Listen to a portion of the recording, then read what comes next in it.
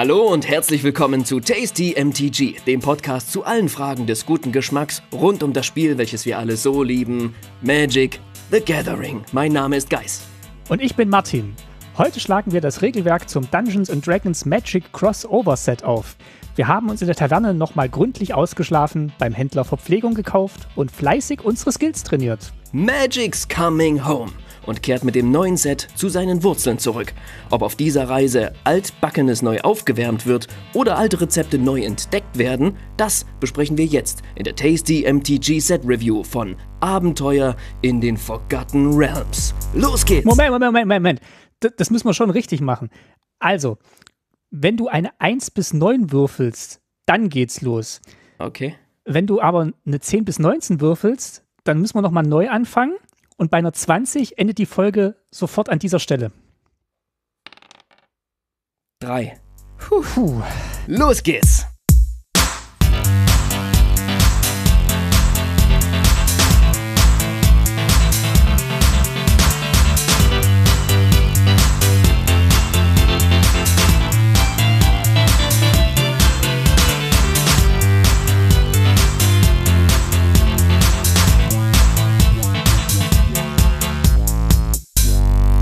Hallo Martin, ich bin ja froh, dass wir es geschafft haben, diese Folge zu starten, ja. Nicht auszudenken, wenn wir jetzt im ewigen Loop des Anfangs dieser Folge hängen geblieben wären oder das ganze Ding hätten beenden müssen. Ja, Gott sei Dank. Und äh, ja, ich bin auch froh, dass wir diese Folge machen können, denn ich habe so Bock auf dieses Set, du kannst es gar nicht vorstellen. Mensch, äh, äh Magic und D&D merchen zusammen zu einem neuen, nie dagewesenen Ungeheuer von äh, Set. Und wir werden uns das mal ganz genau unter die Lupe nehmen, würde ich sagen. Genau, wir gucken uns wie immer die Welt an, die Story, die Mechanismen, erzählen ein bisschen Anekdoten äh, aus der Gründerzeit von Magic und verleihen wieder unsere Awards. Ich habe das Gefühl, es wird um Dungeons und, und einige Drachen auch noch dazugehen. Das Gefühl habe ich auch. Doch jetzt erstmal Vorspeise, würde ich sagen. Äh, hier wird? Ich habe schon was, was Kühles vorbereitet und zwar so, so ähm, Gallertwürfel zum Anpieksen. Ah, i, das ist eine Karte in dem Set, ne? Mhm.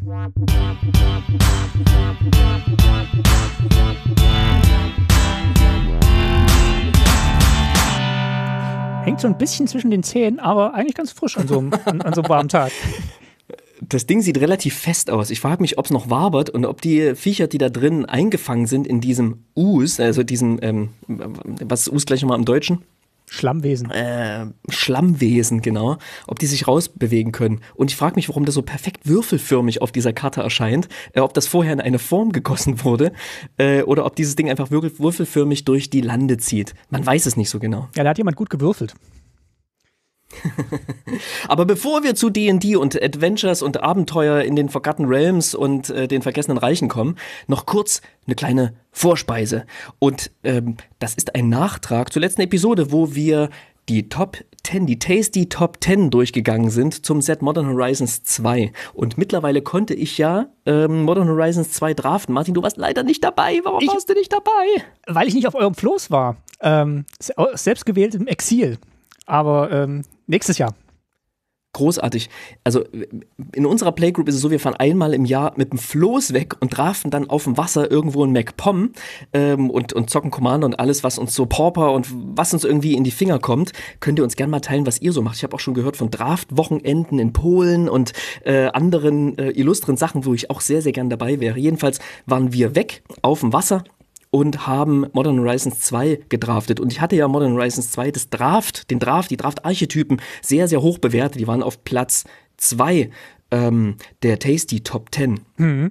Ich möchte ganz Ja? kurz noch einwerfen, ähm, vor drei Jahren, nee, doch, vor zwei Jahren war ich ja mit auf dem Fluss und da haben wir Modern Horizons 1 gedraftet und das habe ich wirklich noch in sehr guter Erinnerung. Habe ich, ja, äh, habe ich ja gesagt, dass ich da äh, Ja. sehr viel Spaß hatte, weil wirklich diese Archetypen so, so toll waren. Und bin jetzt natürlich gespannt, wie es jetzt dieses Jahr äh, auf dem Wasser war.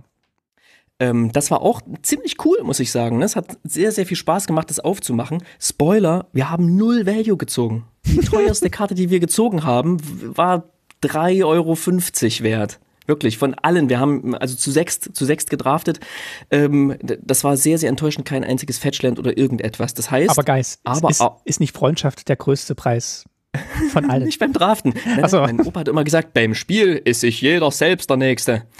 Ähm, da wurden auch die biblischen Regeln außer Kraft gesetzt. Ähm, Das ist natürlich nicht ganz so. Wir hatten sehr viel Spaß in der Gruppe, aber dadurch, dass wir kein Value gezogen haben, war es dann auch nicht so ein Ding von, uh, das muss ich jetzt irgendwie, ähm, muss jetzt sehr gut sein, damit ich am Ende das Fetchline picken kann oder irgendetwas, sondern es ging wirklich einfach darum, okay, drafte die besten Karten für dein Deck und guck, wie gut du damit spielen kannst. Und ich habe ein plus eins plus eins Counterdeck gedraftet.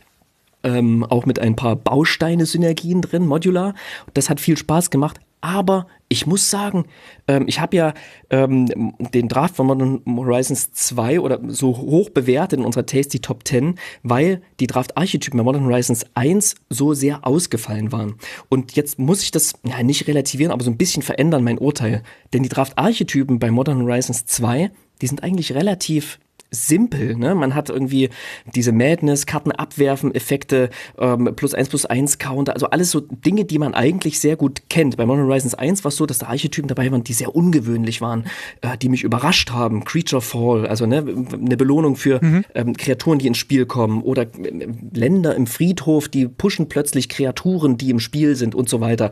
Ähm, und diesmal ist es ein bisschen anders. Diesmal sind die einzelnen Karten super komplex. Ne? Wir haben ja diese tausenden Mechanismen da drin, diese tausenden Keywords mhm. und, und Keyword-Abilities und alles.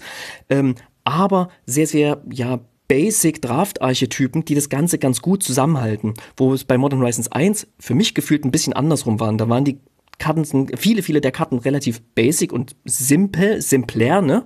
Weil es auch nicht ganz so viele Reprints gab, gefühlt zumindest gerade.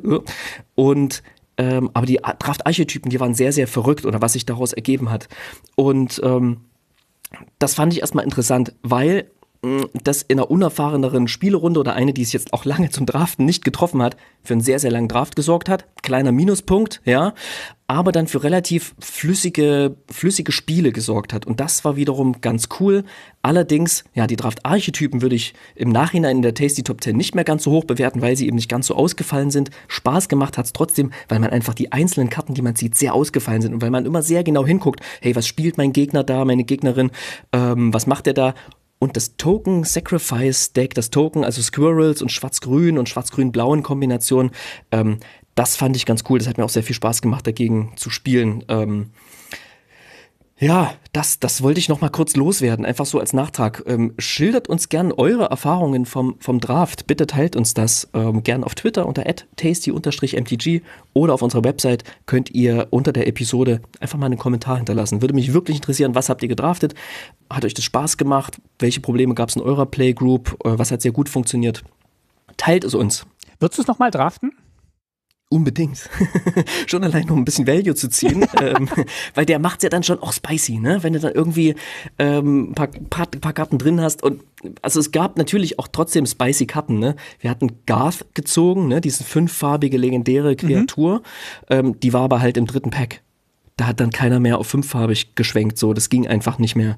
Ähm, ja, also ne, es hat sich irgendwie am Ende so ergeben, dass es ziemlich spannende, coole Decks waren. Das, das schwarz-weiße Reanimator-Deck hatten wir irgendwie drin, ähm, wo man eben Kreaturen aus dem Friedhof zurückholt und das plus 1 plus 1 Counter-Deck und das Token-Deck und das sind so Sachen, die kennt man irgendwie, aber weil sie mit so vielen ganz special, ja, und ungewöhnlichen Karten erstellt werden, ähm, geben diese Draft-Archetypen einen ganz guten Halt um dieses, diese Vielzahl von unterschiedlichsten Karten gut zusammenzuhalten. Das funktioniert gut, aber die Draft-Archetypen, die ich beim, in der Tasty Top 10 so hoch bewertet habe, die würde ich nicht mal so hoch bewerten, weil sie eben einfacher sind, beziehungsweise in diesem Set auch so einfach sein müssen. Punkt. ist ja auch schon ein ganz altes Set. Also das, das können wir jetzt auch ähm, getrost ad acta legen, denn äh, jetzt gibt es ja schon wieder das, das nächste neue Set und da freuen wir uns jetzt auch drauf, da mit euch drüber zu sprechen zu können, beziehungsweise mit uns beiden erstmal. Yes, lass uns zur Hauptspeise übergehen. Was, was haben wir denn da? Was gibt's denn da zu essen? Ich meine, der Gallertwürfel, der war ja mit einem Haps weg. Mm, der jetzt gibt's was, da kaust du ein bisschen länger dran. Das ist Edelsteinsuppe auf Xornart. Mm.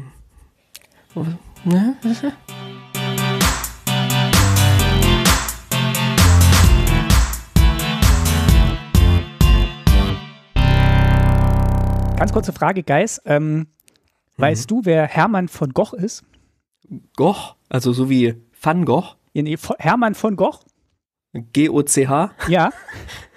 so wie Koch, nur auf Sächsisch. Äh, nee, ich habe keine Ahnung.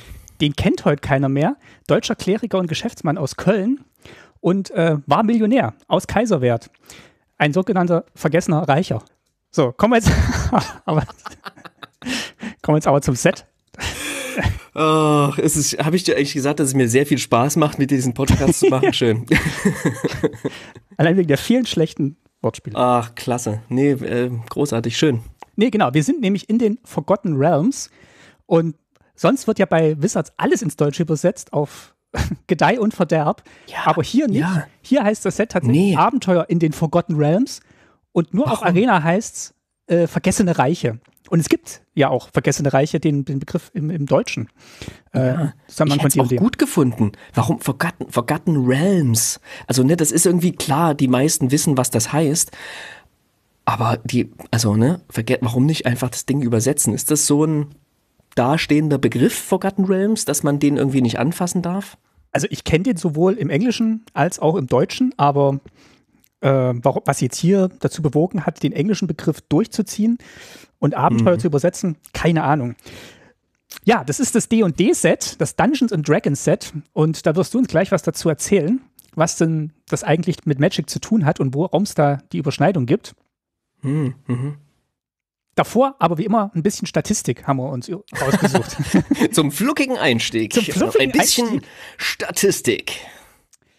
Denn ähm, genau, ich, ich habe ein bisschen was vorbereitet oder eine Frage an dich. Ja, ja, ähm, als, letztes, als letztes Jahr Mitraten für alle. genau, als letztes Jahr ja gespoilert wurde, dass äh, was die Sets von 2021 sind, da gab es ja schon den Hinweis auf das D&D-Set. Und als wir nach Sendika gekommen sind, da gab es ja die Party-Mechanik oder den Party-Mechanismus. Den Party-Mechanismus. Und ähm, da hat man ja schon gesehen, ah, okay, das sind so Kreaturentypen, die hier wichtig werden, die ja auch im Dungeons and Dragons, im Rollenspielumfeld eine gewisse Relevanz haben. Also genauer gesagt, Räuber, Zauberer, Krieger, Kleriker. Mhm. Und meine Frage jetzt an dich wäre jetzt ähm, so rein gefühlsmäßig, was du jetzt von dem Set kennst, was du vielleicht auch noch von Sendika erinnerst. Wo würdest du sagen, waren denn mehr Räuber, Zauberer, Krieger und Kleriker drin in dem Dungeons and Dragons Set jetzt oder in Sendika? Na, in dem Set, wo, die, wo der Party-Mechanismus drin war, oder? Ja, Also in Sendika Rising. und zu einem ganz krassen Anteil. Also ich habe es ich hab's rausgesucht, ähm, es waren zum Beispiel neun Räuber drin. Äh, es sind neun Räuber sind jetzt in Adventures, Ja. äh, Forg- Forgotten Realms und 26 waren in Sendika. Sieben Zauberer sind es jetzt, 24 waren es in Sendika. Sieben Krieger, 29 in Sendika und sechs Kleriker und 25 in äh, Sendika. Ja, ja, wir haben ja immer so die Abenteurergruppe in den Illustrationen abgebildet, ne? Ja. Und da sieht man ja, da ist so ein Drache dabei, so eine, oder eine Drachin in Rüstung Mhm. ähm, und so ein paar Menschen, menschlich aussehende Figuren. Aber ja, wir haben den Partymechanismus hier nicht drin. Deshalb hat es das natürlich jetzt nicht zwingend gebraucht, aber ich habe auch, ich habe, das fiel mir jetzt so leicht, weil ich natürlich auch geguckt habe im Vergleich zu Sendika Rising, ob die hier in irgendeiner Form vertreten sind wieder, diese Gruppen. aber hat mich dann doch erstaunt, weil das verbindet man ja, oder hat man damals auch direkt schon projiziert auf Dungeons and Dragons und ähm, ja, jetzt, jetzt, wo man eigentlich die Party gründet und jetzt in den Dungeon ziehen könnte mit der Party, äh, gibt es eigentlich noch ganz vereinzelt Partymitglieder aus diesen vier Gruppen. Also es gibt natürlich noch andere Gruppen und es gibt wieder neue Kreaturentypen, äh, kommen wir später auch noch drauf, aber das fand ich mal so ganz interessant, wie, wie dann do doch die Verbindung hergestellt wird zwischen äh, älteren und neuen Sets, wie dann vielleicht auch so ein, so ein wohliges Gefühl mittransportiert wird über das Magic-Jahr und man dann auch schon weiß, ah, jetzt kommen wir endlich in das Dungeons and Dragons Set und hat noch so im Hinterkopf, wir sind ja schon eingestimmt worden durch den Party-Mechanismus. Das fand ich an der Statistik ganz interessant. Ja. Aber du hast ja, auch was rausgesucht. Ganz cool. Ich bin übrigens dafür, dass wir nicht Partymitglieder, sondern, Pa- sondern Partygäste sagen. Ja, Ähm, ja, ich habe auch was rausgesucht. Für mich ist ja Dungeons and Dra- das D&D-Set ähm, das Set des Flavors, der Flavor-Texte. Ne? Wir haben ja überall Flavor-Texte, da sprechen wir nachher noch ein bisschen drüber. Also Flavor-Texte, Flavor-Words, sehr flavormäßige Titel und so weiter. Und ich habe einfach mal gezählt, dank Scryfall lässt sich das ja super machen, wie viele Karten mit Flavor-Text ähm, in Adventures äh, of the Forgotten Realms Mhm. drin sind. Und habe aber auch mal geguckt, wie viele es in Strixhaven waren, in wie viele in Kaltheim und wie viel in Ah, cool. Zendika Rising. Und ich bitte dich jetzt zu ranken. Wo, waren, wo sind oder waren die meisten Flavortexte drin und wo die wenigsten? Also Platz 1, 2, 3, 4 einfach mal durchgehen. Also ich würde sagen, Platz 1. Ah, ist schwierig. Nee, pass auf, Pla- Platz 1, ähm, machen wir ruhig mal Forgotten Realms. Platz 2 Sendika. Äh, Platz 3 Kaltheim, Platz 4 Strixhaven. Okay, ähm, warte, lass mich kurz gucken. Ich glaube, du ja fast hast du es genau in der falschen Reihenfolge gemacht. Also Wirklich? auf Platz auf Platz 1 ist Strixhaven. Wirklich? Mit 211 Karten mit Flavortexten drauf. Das hätte ich jetzt nicht gedacht. Und ich sag dir auch warum. Weil da und in Kaltheim diese doppelseitigen Karten mit den unglaublich langen Texten so vorherrschend waren. Und ich habe gedacht, das waren so komplizierte Karten und man musste immer so viel lesen in diesen zwei Sets, dass da gar kein Platz für Flavortext mehr war. Aber gut, okay. Mhm. Strixhaven Platz wird 2, und den hast du richtig benannt, Zendika Rising, mit 192 Karten mit Flavortexten. Ähm, Kaltheim auf äh, Platz 3, also Platz 2 und 3 hattest du richtig, ähm, mit 186 Karten mit Flavortexten und auf dem letzten Platz mit 144, also deutlich weniger, ist Adventures of the Forgotten Realms. Witzig. Ähm, dennoch kommt es uns so vor, als würde dieses Set vor Flavortexten strotzen, gerade auch natürlich, weil die Basics mit Flavortexten versehen sind, ähm, die Basic Lands, was natürlich, was ich super cool finde, können wir nachher auch noch drüber, drüber sprechen. Ähm, aber ich denke mal, weil sich die ganzen Flavortext auf so viele andere Spielbereiche jetzt oder Bereiche der Karte auch verlagert haben, ne, ist es nicht nur der klassische Flavortext, der hier für Flavor sorgt. Deswegen, ja, äh, Adventures of the Forgotten Realms sozusagen am wenigsten äh, Flavortexte im Vergleich zu allen anderen aus dem letzten Jahr. Witzig. Also wirklich, wirklich witzig, wie er da die, die äh, eigene Wahrnehmung trübt. Juti, dann lass uns doch mal ein bisschen über die, über die Welt und äh, ja, diese, diese, ja, vielleicht Lore, die uns in diesem Set begegnet, ähm, sprechen. Ähm, was sind denn die, die Forgotten Realms überhaupt? Jene vergessenen Reiche. Also, ich muss jetzt dazu sagen, ich bin, ich bin jetzt nicht ein Dungeons and Dragons Rollenspieler, also ich habe schon ein bisschen Rollenspielerfahrung, habe jetzt Mhm. aber nie Dungeons and Dragons gespielt, außer jetzt am PC, das ein oder andere Spiel, was eben auf diesem Regelwerk äh, fußt. Und die Vergessenen Reiche ist, soweit ich weiß, ein, ein Gebiet in dieser Spielwelt, was so, so ein sehr altes und ja, so, so ein Kerngebiet vielleicht auch ist, also vielleicht vergleichbar mit Dominaria, da wage ich mir jetzt aber schon viel zu weit raus. Das ist so meine, meine Vorstellung von den vergessenen Reichen. Also irgendwie, ja, so, so High Fantasy, klassisches, klassisches Rollenspiel, Fantasyland. Ja. Ich bin weder Dungeons and Dragons noch Rollenspiel erfahren. Ich habe einmal, zweimal ein Rollenspiel mitgemacht, allerdings nie eine längere, weiterführende Runde, so wie das viele machen, du, wie du das ja irgendwie auch, auch hin und wieder tust. Ne? Ähm, genau, deswegen gu gucke ich ein bisschen mit einem anderen Blick, gucke ein bisschen mit einem, mit einem Game Design Blick drauf und gucke ein bisschen ja, technischer drauf und schaue, was erzählt mir dieses Set halt über Dungeons and Dragons, was ich nicht kenne. Deswegen gibt's von mir auch immer mal wieder den Abgleich des äh, D&D-Noobs, ohne dass ich so wirke, als würde hier ein Blinder über Farben sprechen. Ähm, ja, genau. Was ist denn D&D an sich? Für die, die es gar nicht wissen oder nicht mitbekommen haben. Das ist ein Rollenspielregelwerk, ähm, das von TSR, soweit ich weiß, äh, ins Leben gerufen wurde, irgendwann, wann die ganzen Nerd-Sachen so entstanden sind, in den, in den 80er, 90ern. Und also das, das, was für mich D&D ausmacht, ist halt diese unglaubliche Detailverliebtheit in der Charaktererstellung, in der Beschreibung von Welten, in der Beschreibung von Monstern mit sehr vielen Statistiken und Charakterwerten, die dann auch sehr ausführlich ausgewürfelt werden mit ganz vielen verschiedenen Würfeln. Ähm, also für jede, für jede Handlung, für jede Charaktereigenschaft, alles, was passiert, wird quasi ein Würfel geworfen. Und es macht es damit auch aus meiner Sicht zu einem der komplexesten Rollenspiele. Und deswegen kenne ich es eigentlich auch nur aus der PC, aus der PC-Welt. Einerseits, weil in der Schule oder in der Jugendgruppe, wo ich war, wurden keine Rollenspiele gespielt. Da waren wir vielleicht dort doch zu sehr auf dem Dorf und nicht in der Großstadt Berlin, wo dann viele Gleichgesinnte noch da waren, die es auch gespielt hätten. Oder ich habe sie einfach nicht kennengelernt. Und auf dem PC wurde das halt so ein bisschen wegabstrahiert. Und dann wurden halt Schläge mit dem Schwert äh, im Hintergrund zwar schon auch ausgewürfelt, aber dann das Ergebnis war dann eben ein Treffer oder ein Fehlschlag. Ähm, also diese Komplexität, die verbinde ich eigentlich so mit Dungeons and Dragons. Dungeons and Dragons gehört ja mittlerweile zu Wizards of the Coast, die Magic machen. Du sagtest gerade, es kommt von TSR, was total richtig ist, denn ähm, das gehörte nicht immer zu, zu Wizards of the Coast. Die waren schon immer sehr, sehr, also alle, die das gegründet haben, vor allem hier Peter Atkinson, Atkinson, der die äh, äh, Wizards of the Coast gegründet hat, war immer ein großer D&D-Freund und war eine große Inspiration für ihn, D&D. Ähm, und war immer ein großes, ja, ein großer Traum, irgendwann mal irgendwann mal ähm, TSR bzw. Dungeons and Dragons zu kaufen, was dann 1998 geschah übrigens. Ne? Also 1993 kam äh, Magic the Gathering und durch den riesigen Erfolg von Magic the Gathering konnten sie sich, ähm, konnten sie sich TSR kaufen. Aber wie kam das überhaupt? Ich möchte ganz, ganz kurz zurückgehen zu den, zu den Ursprüngen von, von Magic. Ne? Also Richard Garfield, damals war er noch Student an der Uni, ich bin mir gerade nicht mehr ganz sicher. Ne? Aber immer schon ein schlauer Kopf, immer schon Spieleentwickler, immer sich immer schon coole Sachen ausgedacht. Ähm, schlug äh, Peter Atkinson ein Spiel vor namens Robo Rally. Das wurde dann später auch irgendwann veröffentlicht. Damals, als er es vorgeschlagen hatte, ähm, konnte das Peter Atkinson allerdings nicht veröffentlichen, weil es zu aufwendig war, zu teuer war herzustellen und für eine kleine Firma wie Wizards of the Coast einfach finanziell nicht stemmbar. Was Peter Atkinson allerdings machen konnte und wollte und ähm, Richard Garfield vorschlug, war mach doch mal ein Kartenspiel.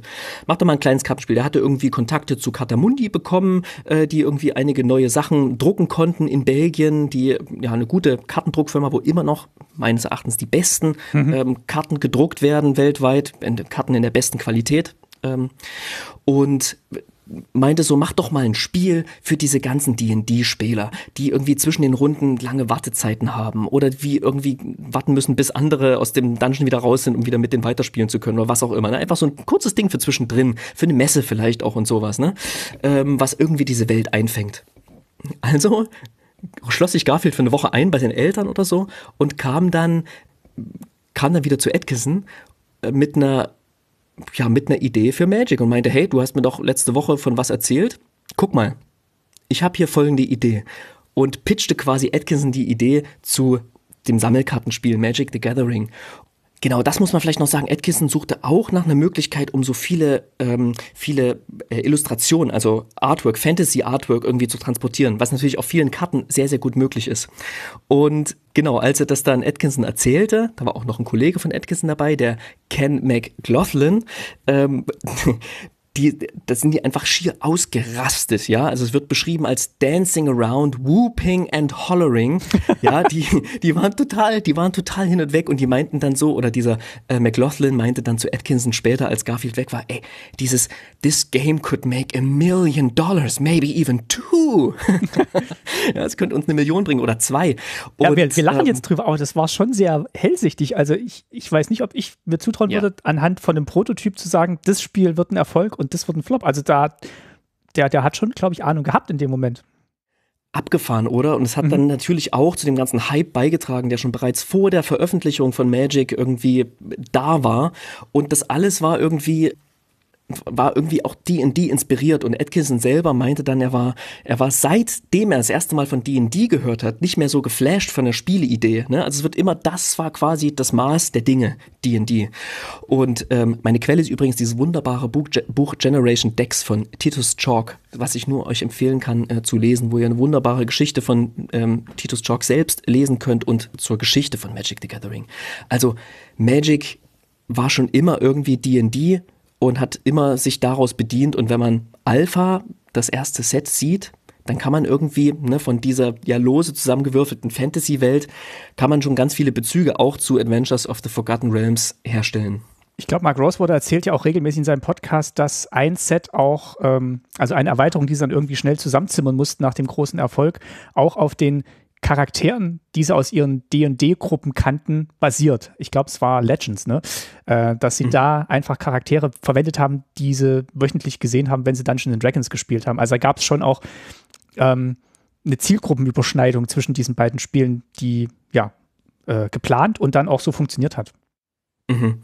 Ja, also es, es, gehört einfach ganz, ganz ähm, ja, eng zu, zu Wizards quasi, ähm, später als gekauft wurde, dann natürlich noch mehr und ich meine, 98 hat das gekauft, der Atkinson, und 99 hat er Wizards verkauft ähm, an Hasbro.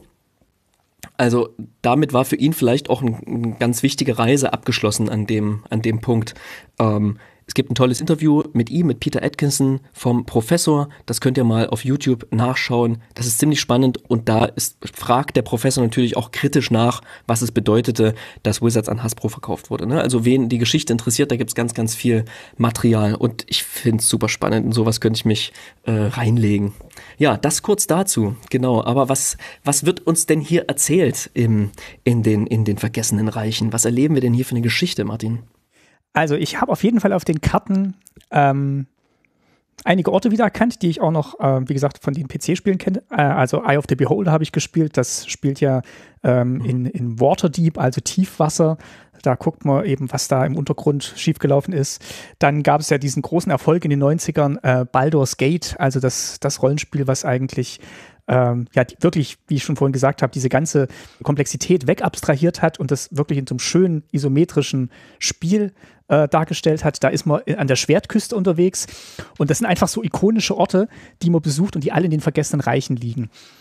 Mhm. Jetzt sind wir ja in den letzten Sets nicht so verwöhnt worden mit einer guten Story von Magic. Also ähm, ich mhm. hatte ja mhm. letztes Mal spaßhalber gesagt, die, die, dieser Flavortext auf Late to Dinner hat, hat mehr Gehalt gehabt als die ganze Strixhaven-Story. Und dieses Mal wird auf eine Story ganz verzichtet, sondern man gibt quasi den Spielern und den Fans ein Abenteuer zum Spielen, das in diesen vergessenen Reichen oder in dieser Welt, in der sich auch das Magic Set abspielt. Und da kann man sich das runterladen, Woche für Woche, und dann quasi mit mhm. bis zu sechs Leuten, glaube ich, äh, dieses Abenteuer spielen. Ich glaube, es sind sogar drei Abenteuer, die man kombinieren kann, ah, ja. die man in mhm. seine eigene D&D-Gruppe äh, einpflegen kann und äh, ja, wo die Protagonisten auch nicht so also die sind schon definiert, aber jetzt nicht so klar wie die Planeswalker, äh, die Gatewatch, die uns irgendwie durch die einzelnen Episoden führt oder so, sondern das soll auch irgendwie, ja, das soll man gut in sein eigenes Rollenspiel integrieren können. Viele haben ja wirklich auch Charaktere, die sie über Jahre hin gepflegt und aufgelevelt und mit guter Rüstung ausgestattet haben. Und da macht es natürlich umso mehr Spaß, wenn man die dann in so ein neues Abenteuer mitnehmen kann. Und das merke ich jetzt auch schon, wo ich noch nicht so viele Rollenspiele gespielt habe. Die Charaktere wachsen einem schon so ein bisschen ans Herz mit ihren Eigenheiten und Besonderheiten. Und wenn es dann mal ein neues Setting geht, dann kann man den Charakter nicht mitnehmen, sondern muss ich einen neuen machen. Und dann, mhm. dann lässt man den auch ungern erstmal so liegen und hat dann dieses leere Charakterblatt vor sich. Deswegen verstehe ich das schon, dass man da eine Möglichkeit gesucht hat, wie man seine Charaktere damit reinbringen kann. Mhm. Und dennoch hätte ich mir irgendwie mehr roten Faden gewünscht mhm, ja. in, in Forgotten Realms. Klar, ne? Es ist irgendwie ähm, ein Spiel zum Spiel. Ich meine, lass uns gleich erstmal noch über die Mechanismen sprechen ja. und gucken, wie flavorvoll die sind, denn das ist irgendwie, das knüpft sehr, sehr direkt an. Aber schon mal Spoiler, mir Überraschenderweise ist es mir zu wenig Story. Auch wenn ich bisher nie der riesen Story-Fan war, merke ich jetzt, wo das ja, weniger da ist, ein bisschen fehlt, dass es mir tatsächlich fehlt und dass ich tatsächlich so ein bisschen die Story-Spotlight-Karten hier und da ähm, ganz cool fand, mich da auch schon ein bisschen dran gewöhnt habe und die ja vermisse. Ich finde es jetzt gar nicht so schlimm. Also, wie gesagt, der, der, der Niedergang der Geschichten hat jetzt schon ein bisschen so eingesetzt für mich und ich setze jetzt tatsächlich mehr auf die Welt, die mir dargelegt wird und beschrieben wird und wie gut die mir zusagt und wie sehr ich mich da auch ja, mit einzelnen Karten vielleicht mir meine kleine eigene Geschichte bauen kann. Deswegen fun funktioniert für mich das ganz gut. Ja, der Höhepunkt war sicher diese fünf Jahre Bolas-Geschichte und ja, ich, ich fände es jetzt nicht schlimm, wenn sie jetzt tatsächlich mehr Fokus auf die Welt legen und die Geschichten, die ja bislang wirklich nicht so dolle waren, ähm, erstmal hinten anstellen. Mhm. Vielleicht muss man auch noch mal so ein bisschen unsere Denke, die wir haben, nochmal kurz erklären, dass wir so ein bisschen aufgliedern in zum einen die Welt, das mhm. Worldbuilding, ja, das sind natürlich so die, die Szenerie, die man sieht, die Menschen, die oder die Kreaturen, die sich durch diese Szenerie bewegen, äh, das Leben, was da stattfindet, die, die Artefakte, die darum liegen. Ähm, dann gibt es die Lore, die Geschichte, die darin erzählt, die spielt, ähm, was meistens eben die Planeswalker sind, die feststellen, dass sie sparken und dann plötzlich zu anderen Planes flickern, sowas, ähm, was auch immer, ja. Und dann gibt's irgendwie noch den Flavor, was für uns ja irgendwie die Verknüpfung von diesen Sachen mit den Mechanismen ist. Also zu gucken, okay, wie, wie gehaltvoll, wie, wie viel Geschichte steckt in den einzelnen Mechanismen drin. Und damit wir dieses Puzzlestück auch noch haben und dann überlegen können, ja, was womöglich fehlt, lass uns doch kurz über die Mechanismen äh, sprechen. Mhm und die einmal so ein bisschen einmal aufzählen und gucken, okay, wie stark welcher Mechanismus tatsächlich auch zu dieser Welt passt und äh, welche Welt uns die, also was die Mechanismen uns quasi an Welt erzählen. Also, das Set heißt Dungeons and Dragons und ein großes, ein großer Mechanismus sind natürlich diese Dungeons im deutschen Gewölbe. Das ist ein neuer Kartentyp und ich glaube, der ist so ein bisschen inspiriert von dem Erfolg von Sagas, weil es quasi so eine Saga zum selber spielen, so, so kommt es mir ein bisschen vor. Ähm, mhm. Es ist ein ganz toller Flavor. Also es gibt Karten, die einen dazu auffordern, ins Gewölbe zu gehen oder die eine ausgelöste Fähigkeit haben, dass man ins Gewölbe geht. Und was passiert ist, wenn man ins Gewölbe geht? Man nimmt sich einen von drei Dungeons, die im Pre-Release-Pack, glaube ich, mit dabei sind. Und mhm. äh, die hat man auch immer zur Verfügung, ob man es jetzt gedraftet hat oder nicht. Also man muss die nicht draften, das sind wie Tokens, die man zur Verfügung hat. Und mhm. jeder hat eine gewisse Anzahl von Räumen, die so kleine Effekte auslösen, zum Beispiel Hellsicht 1 oder machen einen Goblin oder jeder verliert ein Leben. Und die sind auch unterschiedlich lang. Und immer wenn man quasi in das Gewölbe sich wagt, betritt man einen neuen Raum. Man kann den Dungeon nicht wechseln, sondern muss ihn erst abschließen, bevor man einen neuen Dungeon betreten kann. Und am Ende des Dungeons, wenn man den letzten Raum betritt, dann gibt es einen großen, tollen Effekt. Zum Beispiel, äh, man erschafft einen 4-4-Token, der dann auf der eigenen Seite kämpft. Also ganz, ganz große, tolle Effekte. Ja, und äh, diese Karte lebt in der Command Zone. Ähm, da haben sie die jetzt irgendwie, also die Command Zone ist sehr, sehr voll geworden in den letzten Sets und da liegt jetzt eben auch dieser, da liegt jetzt eben auch dieser, dieser Dungeon rum. Und ja, ich finde das, ich finde das einen sehr, sehr schönen Mechanismus. Also mir haben diese Sagas schon sehr gut gefallen mir gefallen auch diese Dungeons sehr gut, weil man da so ein bisschen mehr vorausplanen muss, wann, welchen Dungeon betrete ich überhaupt, wann habe ich den wahrscheinlich zu der, in dem Raum, wo ich dann auch diesen Effekt gut brauchen kann. Also mir gefällt es sehr, sehr gut. Ja, mechanisch ist das witzig. Ne? Es sind sehr, sehr viele kleine Effekte, die man die man ganz gut ausnutzen kann, die man vervielfältigen kann. Ähm, äh, es gibt ja Karten, die sind sehr darauf aus, dass man einen Dungeon abgeschlossen hat. Es gibt welche, die treiben einen quasi durch dieses Dungeon und, und sehen zu, dass man immer, immer einen Schritt weiter geht. Äh, Drachen gab es ja schon in ja. Magic. Und das ist quasi noch das Ding, also ne, Dungeons and Dragons wird mit den Dungeons, die sie hier eingefügt haben, ähm, eingelöst. Das Versprechen. Das, das kann, man, kann man nicht anders sagen. Und es ist natürlich ganz cool, ne? Also ich fand ja auch schon äh, die Contraptions bei Unstable irgendwie ganz ja. cool, dass man plötzlich so externes Spielmaterial hatte, ne? Und es gab ja auch das Versprechen von Mark Rosewater, dem, dem Chefdesigner quasi, dass man da sich dessen immer mal wieder und immer mehr bedient, so externen Spielmaterials quasi. Und das finde ich irgendwie ganz, ganz lässig, ne? Irgendwie hat man sich dagegen entschieden, 20 Dungeons zu machen, sondern hat lieber eine kleinere Anzahl genommen und auch ziemlich genau darauf geachtet, was diese drei Dungeons machen, dass die unterschiedlich zueinander sind und man sich ja schnell auch eine Entscheidung treffen kann, in welches Dungeon man wandelt. Und das funktioniert total gut für mich. Also mega gut. Im Vision Design war es wohl so mal angedacht ähm, oder haben sie mal experimentiert, dass diese Dungeons quasi tatsächlich, wie du sagst, diese Contraptions ein einzelnes Deck sind und jede Karte ist quasi ein Raum. Und immer wenn du in den Dungeon gehst, deckst du quasi eine Karte auf und machst dann das, was, ähm, was die Karte dir sagt. Also es war dann nicht offensichtlich, mhm. welche Räume du betrittst, sondern die, die, die Räume waren quasi ein extra Deck. Da sind sie erstmal davon abgekommen. Ich könnte mir vorstellen, dass das irgendwann noch kommt, aber jetzt haben wir erstmal diese drei Dungeons.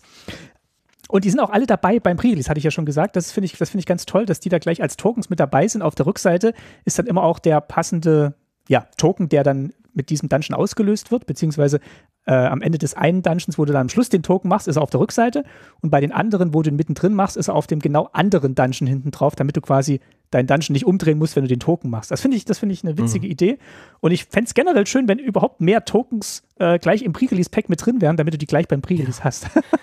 Ja, diese Dungeons sind übrigens inhaltlich angelehnt auch an die drei Abenteuer. Mm, das sind mm. die, in jedem Abenteuer ah, okay. wird auch ein Dungeon sozusagen beschrieben und das sind jeweils diese drei Dungeon, genau, die man, die man dort auch durchschreitet. Man kann sich jetzt schon die Frage stellen, wie viele weitere Dungeons wird es geben im Laufe von Magic, außerhalb von D&D-Sets, äh, oder sind wir uns erstmal auf die drei festgelegt. Aber die machen auf jeden Fall generisch genug Sachen, dass es erstmal äh, zumindest mit dem Set Spaß macht und vielleicht, wenn man sich ein Commander-Deck baut und äh, spielt, da auch noch Gewinn draus ziehen kann. Mhm. So, was haben wir noch als Mechanismus? Wir haben es schon gespoilt ganz am Anfang. Es wird mhm. gewürfelt. Endlich wird in schwarzrandigen Karten gewürfelt. Das war ja bisher ein Mechanismus, der nur den Silverbordered-Karten äh, vorbehalten war, den ganzen Ansatz. An Stable vor allem, da wurde sehr, sehr viel gewürfelt und unsanctioned. Ähm, und es hat sehr, sehr viel Spaß gemacht. Und wir wissen auch hier, Mark Rosewater hatte lange den Traum, es endlich in Blackborder-Karten zu bringen. Da gab es diverse Gründe, weshalb das nicht eher passiert ist. Aber jetzt natürlich bei Dungeons Dragons gab es kein, gab's keine Ausrede mehr und es wird gewürfelt. Es wird nicht länger nur eine Münze geworfen, sondern jetzt wird endlich auch gewürfelt. Und was wird gewürfelt? Ein 20-seitiger Würfel und der ist auch als echter Würfel in jedem Pre-Release-Pack dabei. Also nicht kein Spin-Down, wo die Zahlen in, in aufsteigender Folge angeordnet sind, Reihenfolge angeordnet sind quasi, sondern eben ein Würfel, wo die Zahlen bunt durcheinander gemixt sind, damit man nicht äh, bescheißen kann. Ich finde, äh, achso, wirst du vielleicht noch dazu sagen, was ist denn jetzt die Varianz, die damit erzeugt wird? Da ist es natürlich nicht für jede Zahl auf diesem Würfel gibt es jetzt ein unterschiedliches, einen unterschiedlichen Ausgang. Da würde sehr viel auf diesem Dafür gibt es dann Secret Lair natürlich. Ich, ja.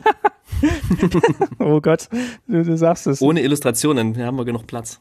Also in der Regel wird es halt unterschieden zwischen drei Bereichen und zwar entweder 1 bis 9 oder 1 bis 10 oder dann eben 10 bis 19 oder 11 bis 19, je nachdem, wo jetzt so ein bisschen der Schwerpunkt drauf liegen soll, kann man sich dann auf den Karten immer mal angucken, wo, äh, was, was ist jetzt hier die größere Wahrscheinlichkeit. Und dann gibt es eben noch die 20, die bei Dungeons and Dragons immer als kritischer Treffer bezeichnet wird. Also es ist ein Erfolg. Da gelingt dir dann quasi das, was du machen wolltest, auf jeden Fall und zwar sensationell gut. Also beim Kämpfen kriegst du, glaube ich, dann nochmal äh, noch einen Schlag. Ich, äh, mögt mir verzeihen, wenn ich es jetzt falsch sage.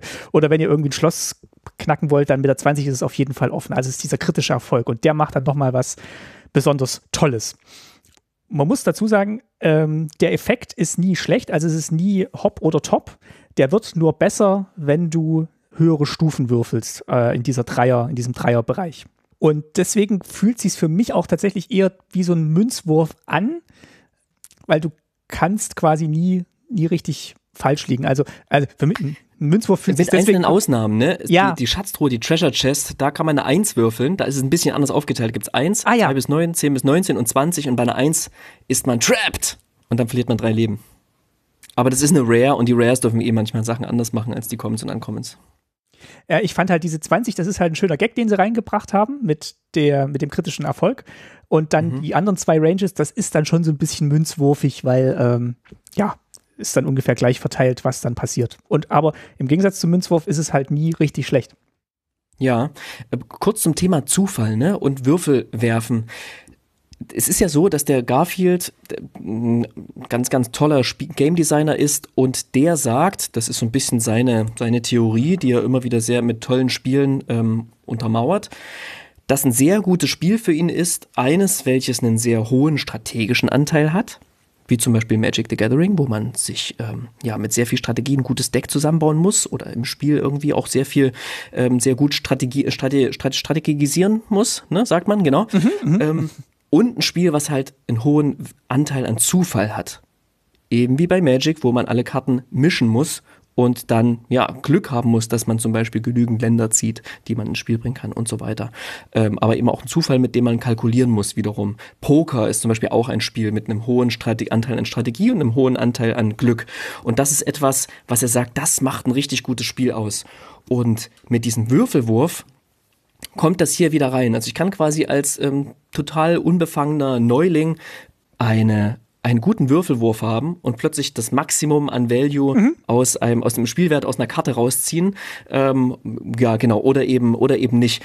Und das finde ich ganz cool, denn das hat ja, da, damit reist man wieder so ein bisschen zurück, ne, auch zu den Ursprüngen des Spiels, zu dem, was, was Richard Garfield da eingearbeitet hat, denn das war etwas, was ihm sehr, sehr, sehr wichtig war und was meines Erachtens Magic in den letzten Jahren ja immer wieder und sehr, also ja, immer stärker auch verlassen hat, ne? dass man sich sehr, sehr stark auf die strategisch denkenden Spieler konzentriert hat und den, den Zufall so ein bisschen außer Acht gelassen hat. Ne? Also so Coinflip-Sachen und sowas, das ist immer mal als Gag drin, aber wirklich gut ist das eigentlich nie. Das hat sich in letzter Zeit verändert, ne? mit, mit den ganzen, mit dem neuen Krag beispielsweise, der rausgekommen ist in Commander Legends und so, gibt's wieder mehr Möglichkeiten, damit auch zu spielen. Und jetzt finde ich es, indem man Würfel mit reinge reingeholt hat, und damit auch diesen neuen Spielmechanismus ja irgendwie aufgemacht hat für das Spiel, ist das da und es kommt nicht von ungefähr. Ja? Es kommt von dem großen Vorbild Dungeons and Dragons und ist zu Magic gekommen, so wie Magic mal von Dungeons and Dragons ähm, ganz stark beeinflusst war. Das finde ich ganz cool und ist eins dieser ja vergessenen, vergessenen Dinge, die man damals irgendwie nicht gemacht hat, ne? dass man Würfel geworfen. Hätte man, wäre auch etwas gewesen, was sehr, sehr gut, was ich mir sehr, sehr gut in Alpha hätte vorstellen können, in der ersten Edition der Magic-Karten.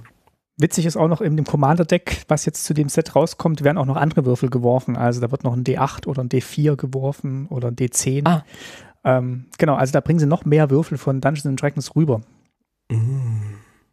Ja, das, das wir als Mechanismus. Klasse. Klasse. Super. Ja. Ach so. Ah ja, klasse, klasse, stimmt, ist ja auch ein Mechanismus. Äh, Ja. Klasse, beziehungsweise Class. Ähm, ist auch eine Karte Auf Englisch. Mit, genau, ist Klaas. Nicht der deutsche Männername. Ja, Joko und Klaas.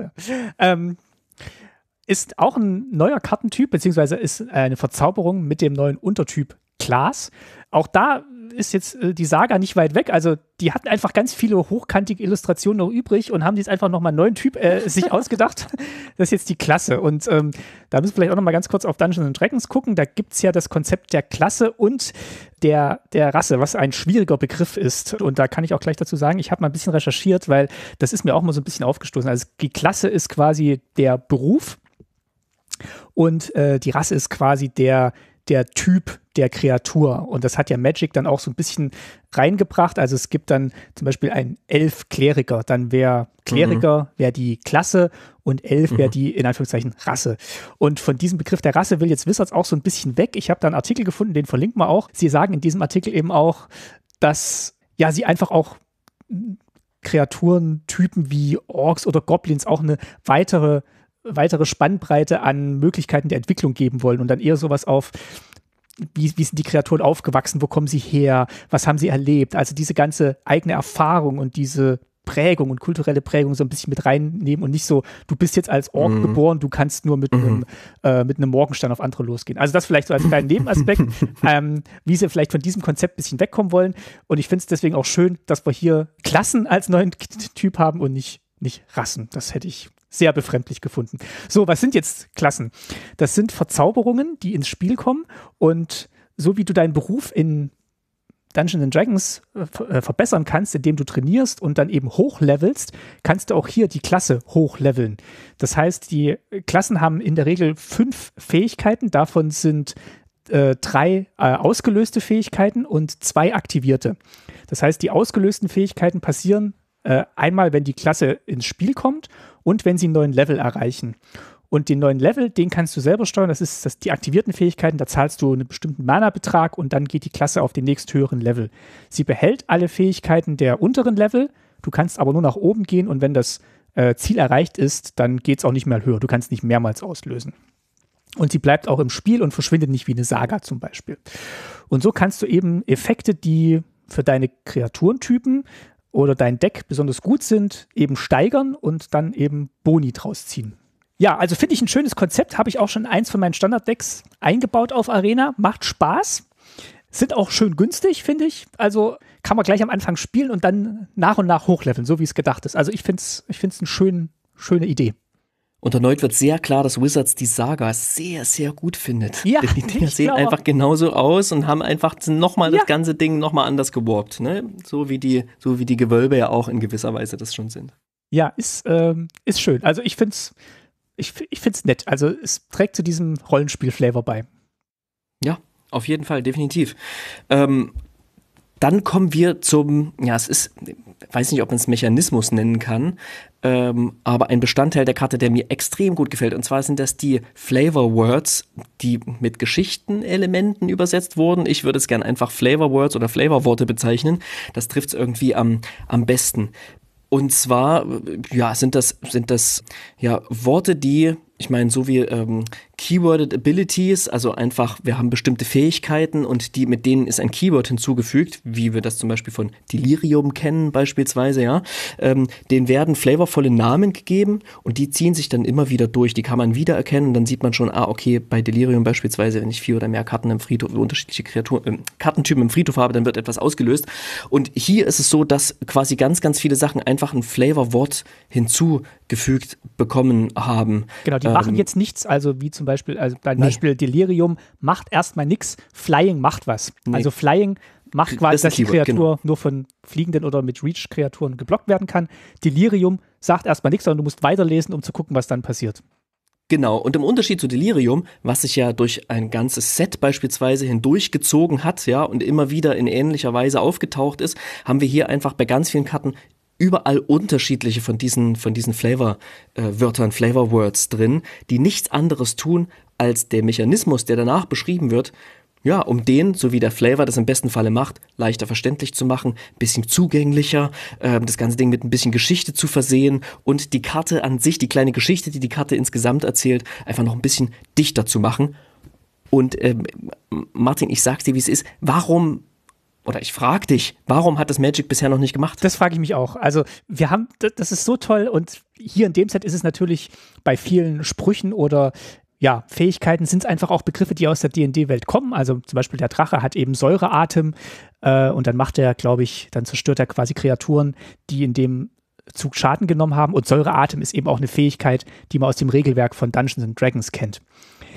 Das, das muss aber nicht so sein. Also ich finde auch diese, diese Karten, du, ähm, wo dann draufsteht, ihr, ihr kommt an einen Fluss, was wollt ihr machen? Die fortüberqueren oder durchschwimmen äh, das einfach, das, das fügt einfach dieser Karte, das macht diese Karte rund, finde ich. Das, das erzählt eine kleine Geschichte auf der Karte und das, finde ich, könnte viel, viel öfter passieren. Gerade auf so Karten, die, die, wie ich finde, so klassische Sideboard-Karten sind, die ja auch eine Wandlung durchgemacht haben, seitdem ich Magic spiele. Am Anfang waren die total situationsabhängig, also zerstöre eine Kreatur mit Flugfähigkeit wenn du die im Sideboard hast, ist wahrscheinlich besser, als wenn du sie im Main Deck hast. Dann waren die so ein bisschen modaler, also zum, zum Beispiel zerstöre ein Artefakt oder zerstöre eine mhm. Kreatur. Ähm, und jetzt sind da bis zu drei Varianten drauf, also sind total modal, sind total vielseitig, kannst du immer mhm. in deinem Hauptdeck spielen und kriegen jetzt noch mit diesem tollen Flavor, wird, werden diese drei völlig wahllos zusammengewürfelten Fähigkeiten auch zu einer kleinen Geschichte verwoben, weil die Fähigkeiten erstmal nichts miteinander zu tun haben, aber dadurch gewinnst eben an, äh, an Kohärenz. Genau, ich habe hier noch ein, einfach ein, irgendein Beispiel, ne, ein kleines Beispiel ähm, für eine kommende Weiße, den Lichtbringer Kleriker, der kostet eins und ein Weiße ist eine 1-3 Mensch-Kleriker-Kreatur. Ähm, und der hat eben eine dieser, eine von drei Möglichkeiten, ähm, ähm, Fähigkeiten kann man auslösen, wenn er ins Spiel kommt. Und ähm, ich lese mal nur die, die Flavor Words vor, dann kriegt man schon so eine Idee. Der kann entweder Wunden heilen, Magie bannen oder sanfte Ruhe auslösen, ja. Man kriegt schon so eine ungefähre mhm. Idee, was es macht. Wunden heilen, du hältst Lebenspunkte dazu, mhm. Magie bannen, du kannst eine Verzauberung zerstören, sanfte Ruhe, ähm, du schickst eine Karte aus dem Friedhof ins Exil. Ah ja, okay. Hm.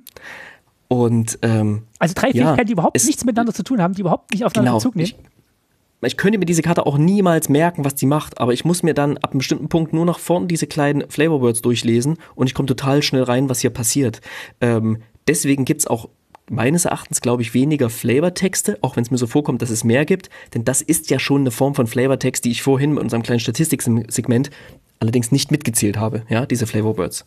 Und es ist eine geniale Idee. Also ich, ich denke wirklich daran, diese Umfrage, die Wizards immer startet zu jedem Set, da kriegt man dann immer Einladungen auf verschiedensten Social-Media-Kanälen, wirklich diesmal mitzumachen und immer reinzuschreiben, mehr Flavor Words, macht mehr Flavor Words, das ist so toll, das trägt so zum Worldbuilding, zum ja. Spaß an dieser Welt bei behalte das bitte unbedingt bei. Und wieder habe ich das Gefühl, wir mussten einmal zurückgehen zu D&D, was ich jetzt einfach mal als Ursprünge von Magic bezeichnen mhm. würde, um etwas in das Spiel reinzuholen, was wir damals offenbar vergessen haben. Nicht mit, also, ne, was der, was der Richard Garfield offenbar nicht mitgenommen hat. Klar, er hat es in Form von Flavortexten mitgenommen, sozusagen, die gab es auch schon in Alpha. Aber diese kleinen Worte, die machen das Spiel einfach nochmal mal da tropft der Flavor. Das macht dann einfach viel mehr Spaß und das Ganze ist eine emotionalere Angelegenheit, denn die Mechanismen werden dadurch ein bisschen leichter ja, nachfühlbar.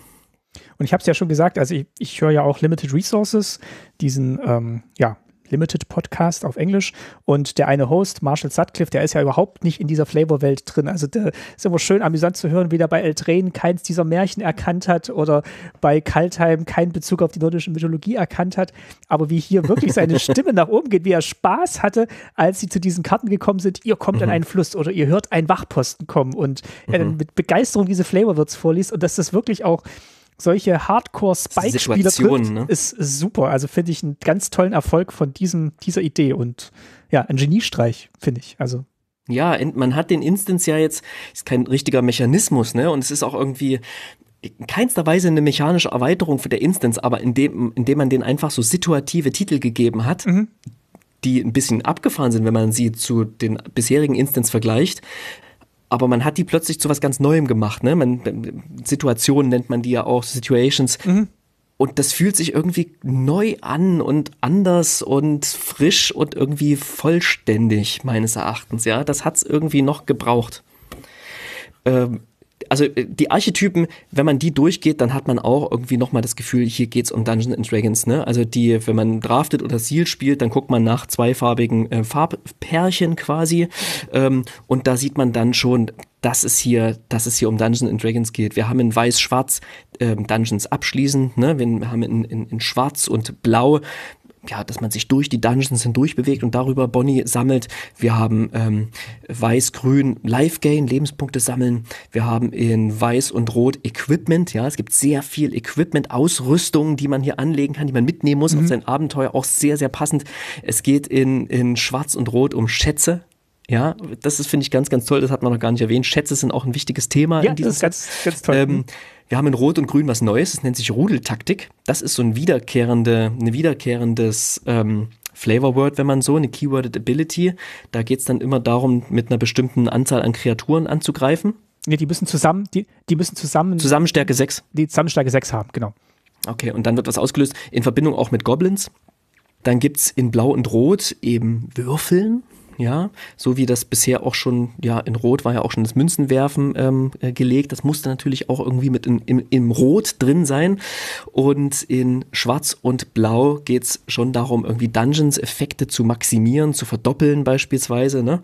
Und ähm, in Schwarz und Grün vielleicht sozusagen einer der schwächeren ähm, Archetypen, da geht's dann darum, dass Kreaturen sterben, in den Friedhof gehen und damit dann irgendetwas gemacht wird. Aber ja, ich finde es spannend, was hier mit dem Color Pie passiert. Ne? Gerade irgendwie ist die Schätze in Schwarz und, und Rot jetzt auch irgendwie nochmal noch mal mehr sind. Rot kannten wir es bisher schon. In Schwarz war es mir noch nicht so geläufig, aber finde ich spannend. Zum ne? dass Teil. Es nicht in Boros ist irgendwie. Die, die Piraten in Ixalan, die waren, glaube ich, auch schwarz-rot-blau. Und die hm, Schwarzen mhm. haben sich auch so ein bisschen um die Schätze gekümmert. Ich glaube, Schwarz-Rot haben sich damals auch schon um die Schätze gekümmert bei den Piraten, meine ich. Ja, da hast du auf jeden Fall recht. Und ach so, was ich vergessen habe, das generischste von allen, äh, Blau und Grün. Was macht Blau und Grün? Bringt Länder ins Spiel und zieht Karten. Ja, das passiert auch hier. Nichts anderes. Es, äh, es tut, was es kann und es tut es gut. Ja, also genau. interessant. Wir konnten tatsächlich auch schon ein bisschen mit diesen Archetypen spielen. Also zu dem Zeitpunkt, wo ihr das hört, konntet ihr wahrscheinlich auch schon damit spielen. Wir haben uns in der Vorbereitung auf diese Sendung, sind wir eingeladen worden von Wizards, an einem Preview-Event teilzunehmen. Dafür nochmal ein großes Dankeschön, dass wir da teilnehmen durften. Und haben, Vielen Dank. Ja, und haben äh, ja da ein bisschen Sealed gespielt und äh, zwei Sealed-Pools gebaut und auch noch ein Standarddeck. Ja, wir haben uns ein bisschen durch die Dungeons bewegt. Das hat schon beim ersten Mal sehr viel Spaß gemacht, fand ich. Ich habe dann noch mhm. einen späteren mhm. Draft angeschlossen. Ähm, ja, also ich glaube, ich auch. ich habe auch noch mal gedraftet. Ja. Dungeons macht mir wirklich bislang am meisten Spaß. Also und äh, ja, wirklich da als einer der ersten, als eine der ersten da äh, durch die Dungeons zu, zu wandern, das, das war schon toll. Mhm. Ich habe mir noch ein, in, in, in schwarz-rotes Schätzedeck gebaut, ja, deswegen habe ich auch gerade so davon geschwärmt, denn das hat viel Spaß gemacht. Gerade wenn dann andere rote Karten, wo man noch würfelt, ähm, es gibt so ein Oger, da kann man würfeln, um Schätze zu kreieren, ne? Das, das ähm, überlagert sich so ganz nett.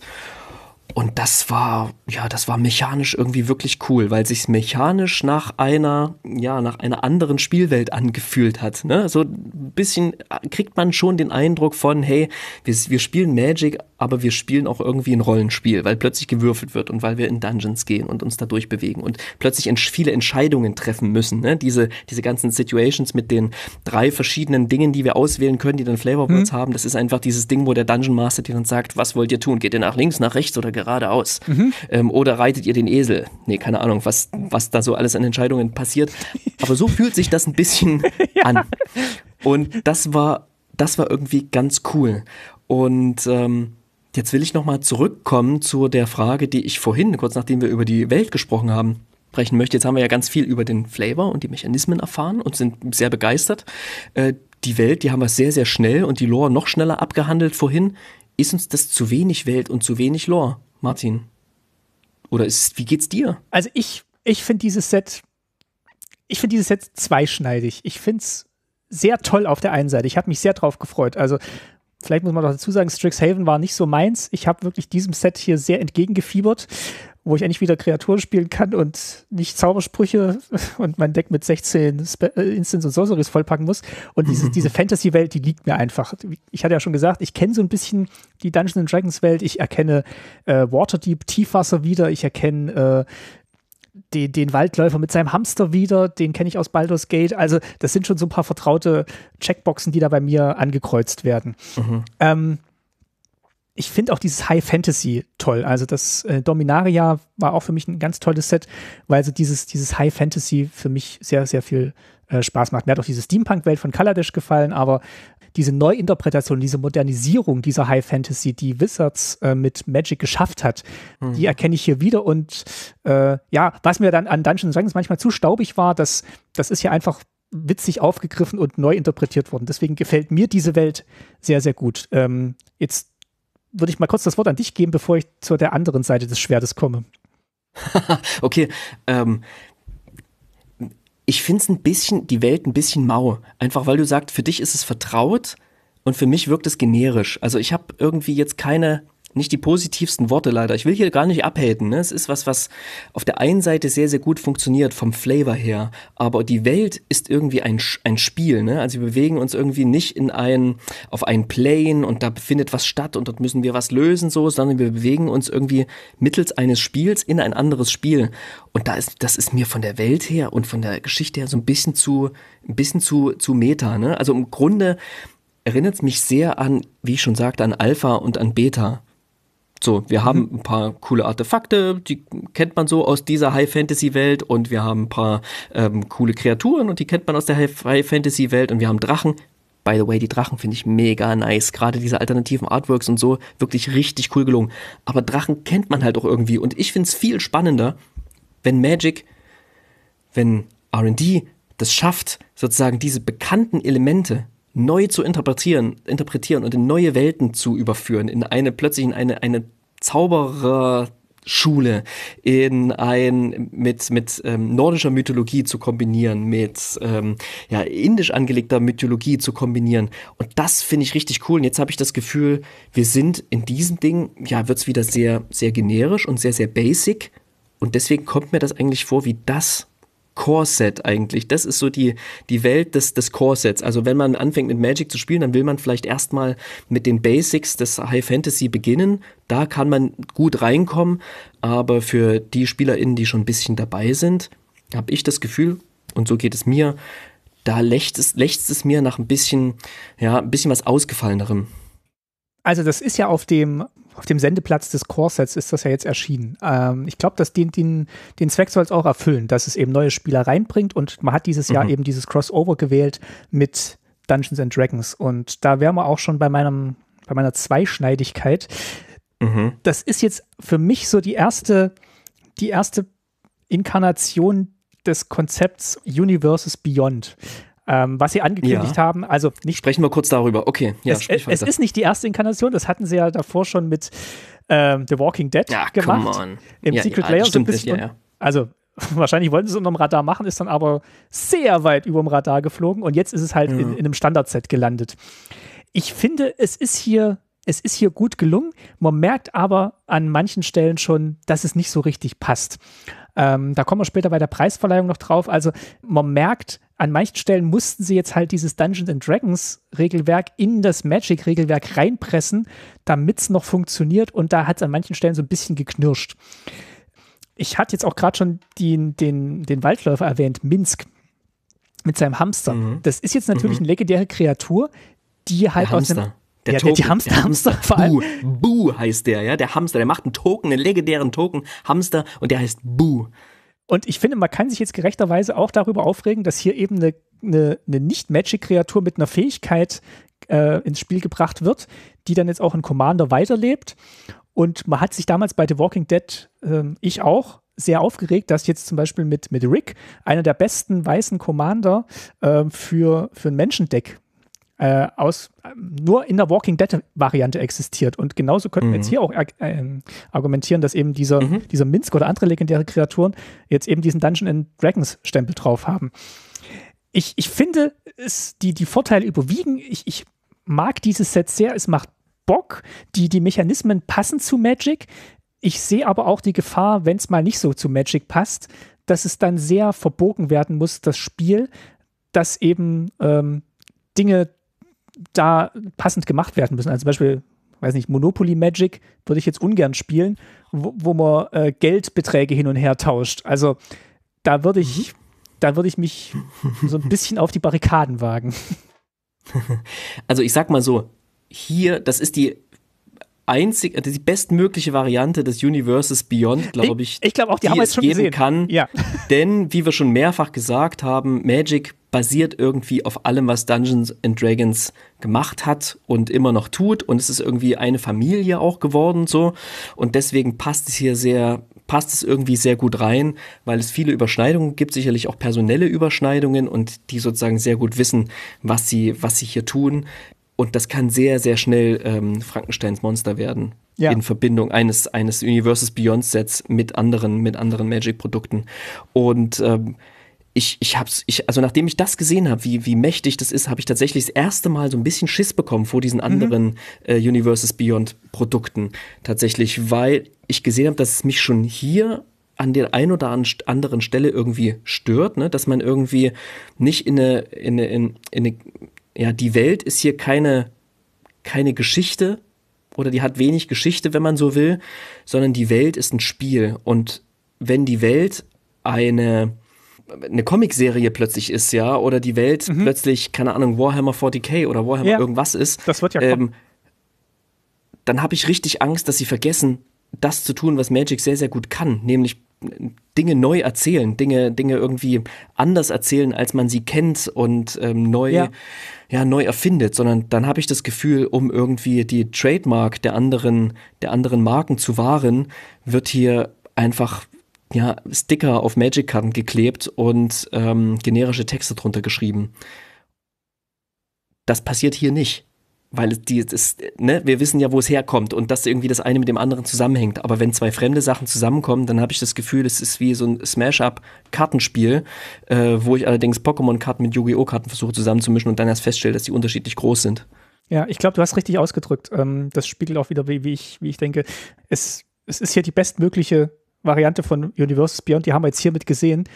Und ich habe auch Angst äh, vor, vor einer Inkarnation, die, die mir nicht Spaß macht, weil dann fühlt sich's falsch an. Jetzt fühlt sich sehr viel richtig an, weil es für mich mhm. funktioniert. Ich sehe aber durchaus die Gefahren, wenn es nicht funktioniert und was Magic dafür alles aufgeben muss. Ja. Ich, ich will noch mal kurz auf einer positiven Note für mich ja, enden. Unbedingt. hier in Adventures of the Forgotten Realms es ist wenig Welt und es ist für mich auch irgendwie zu generisches Worldbuilding, aber was sehr, sehr gut funktioniert, ist einfach der Flavor und die Mechanismen und wie es ineinander greift, irgendwie mit dem, was an Welt da ist. Auch wenn es generisch ist, äh, sei dahingestellt, aber es greift sehr gut ineinander und es strotzt vor Flavor. Die Flavor Words haben wir erwähnt, die Gewölbe finde ich ganz klasse. Und das Würfeln ist ganz toll. Und es ist so, als hätte Magic dieses Set gebraucht, um sich auf eigene, seine eigenen Wurzeln zu besinnen, um zu erkennen, was man damals vergessen hat, um es jetzt wieder mit einzupflegen und vielleicht auch weiter mitzunehmen. Ja, also wenn jetzt Würfeln einfach erlaubt ist in Magic, dann finde ich das eine sehr, sehr coole Sache, weil mir das sehr, sehr viel Spaß macht. Und wenn jetzt weiterhin Instants mit situativen Titeln, situative Titel bekommen, dann finde ich das sehr, sehr cool.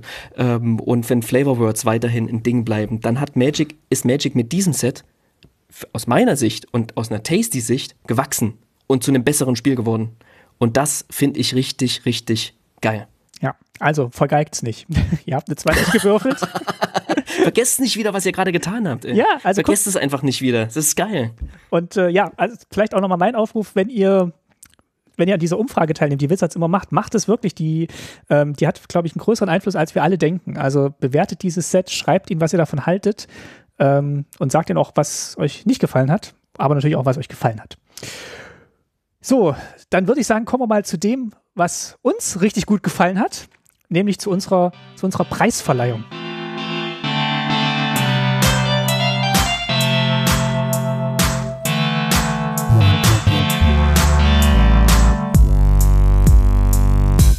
Boom! Bin ich wirklich gespannt, Guys.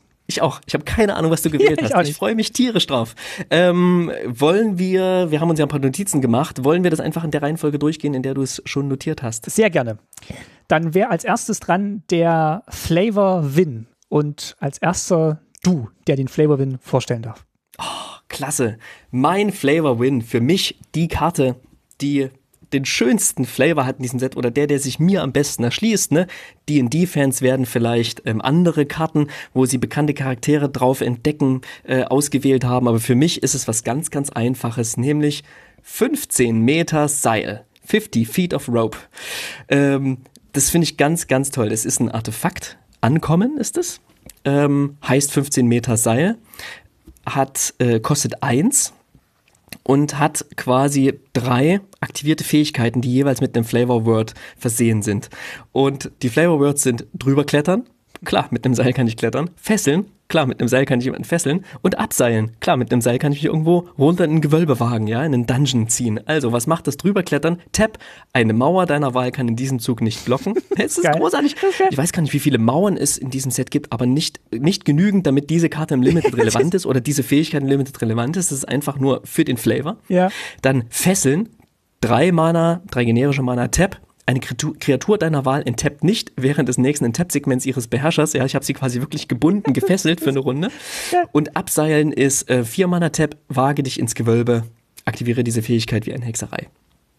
Ähm, äh, cool. Musste ich immer wieder mit jeder einzelnen Zeile schmunzeln, fand ich richtig cool. Es gibt noch viele andere Karten, die ich geil fand. Das ein, was war das andere? Die Tür eintreten oder irgendwie sowas? Da, da, da, da komme ich gleich dazu. Da komme ich gleich dazu. Ach wirklich? Ja, oh, wirklich. Da wollte ich nichts vorwegnehmen. ähm, dann mach du gern weiter. Also mein Flavor Win, 15 Meter Seil.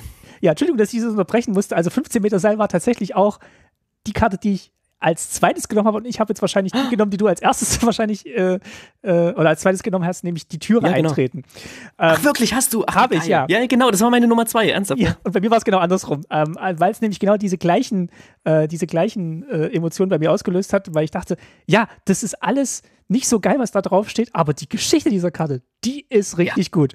Also, die ja. Karte ist, ähm, kostet auch ein Mana, ein rotes in dem Fall, heißt äh, Türe eintreten, Kick in the Door. Und es ist eine Hexerei. Und was macht die? Also, wie gesagt, die macht eine Menge Quatsch. Und ich weiß auch nicht, ob die gut ist. Erzähl's. Los, los, los, komm. Also, du legst einen plus 1 plus 1, äh, eine plus 1 plus 1 Marke auf eine Kreatur deiner Wahl. Dann kriegt diese Kreatur Eile bis zum Ende des Zuges und kann von Wänden nicht geblockt werden. Und von du Mauern, ja. Und du wag, äh, von, von Mauern und du wagst dich ins Gewölbe. Also klasse. Du, du machst die Kreatur so ein bisschen stärker, dann nimmt die Anlauf, haut die Wand, äh, haut die Wand ein, also äh, haut die Tür aus der Wand, ja, damit ja, sie genau. ins Gewölbe runter kann. Also ganz toll. Wie gesagt, alles ein bisschen quatschig. Ich weiß nicht so richtig, wann das situativ mal gut ist. Aber die Geschichte und die Illustration, ähm, in dem Fall von Justine Cruz, ist wirklich phänomenal. Also dieses Türe eintreten ist hier perfekt wiedergegeben. Ah ja, genau, 15 Meter Seil, Illustration von Andrew Marr. Ich habe kurz überlegt, ob ich dem, ob ich dem 15 Meter Seil einen Minuspunkt geben sollte, weil es keine Ausrüstung ist. Weil ein Ach, Seil stimmt, ist stimmt. ja sozusagen ja. eine Ausrüstung. Aber dann dachte ich, nee, komm, ich finde nee. die trotzdem so gut. Ähm, ähm, das mache ich, weil das dachte ich kurz, wenn, ich dachte kurz deswegen sozusagen, dass die Türe eintreten, ähm, zu meinem Flavor Win zu machen. Aber ich bin sehr froh, dass es jetzt so gekommen ist, dass wir beide Karten erwähnen konnten. Ich bin auch sehr froh. Also 15 Meter Seil war wirklich direkt hinter der Tür. Super. Auch dieser Satz ergibt Sinn. Ja. Dann würde ich sagen, auf geht's zu unserem Flavor Fail. Martin, bitte fang du doch an. Ja, ähm, ich habe hier eine Gruppe von Karten ausgewählt, äh, die auch nochmal oben zu dem Worldbuilding-Thema passen. Und zwar habe ich ausgewählt alle, in Anführungszeichen, Planeswalker aus diesem Set, die so ein bisschen mein mhm. Flavor-Fail sind. Ähm, es, gibt für, es gibt für jede Farbe gibt's einen Planeswalker, der aber kein Planeswalker ist. Es sind einfach legendäre Kreaturen aus den vergessenen Reichen. Also äh, der blaue mhm. ist zum Beispiel Mordenkainen, dann äh, die grüne ist Elivic Tumbles Jump, äh, äh, äh, Purzelklimper im Deutschen, sehr schön. Also ja, diese, super schön. diese 90er Jahre mhm. Übersetzungen äh, sehr gut mit, mit rübergenommen. Und so gibt es halt für jede Farbe gibt's eine Karte, die dann eben Planeswalker-Fähigkeiten hat, aber es sind eben keine Planeswalker. Und die wandeln jetzt auch nicht von Welt zu Welt und wir werden Morden keinen nie in äh, äh, unserem nächsten Besuch in Strixhaven sehen, vermutlich. Und das meinte ich oben auch, da, da, da knirscht so ein bisschen, wenn man dieses Universes mhm. Beyond auf Magic anwendet, weil ja, Planeswalker will man in jedem Set haben, jetzt gab es hier nicht so richtig welche, sondern dann nehmen wir einfach irgendwelche legendären Kreaturen und die sind jetzt unsere, in Anführungszeichen, Planeswalker. Und das ist für mich halt ähm, ein Flavor Fail, ganz, ganz klar an der Stelle. Ja, ist mir gar nicht so bewusst gewesen, aber du hast natürlich recht. Klar. Ja, schade. Also coole Kreaturen, aber ich dachte schon, wo ich die gelesen habe, super, äh, Planeswalker, neue Planeswalker sehen wir die jetzt öfter, aber nee, also mhm. wirklich so äh, einmal, einmal One-Shot. Stell dir vor, dann, ich muss gerade wieder an Universes Beyond denken, wenn dann irgend so ein Warhammer 40k-Ding ein Planeswalker ist, ja. der dann halt nach Strixhaven walkt.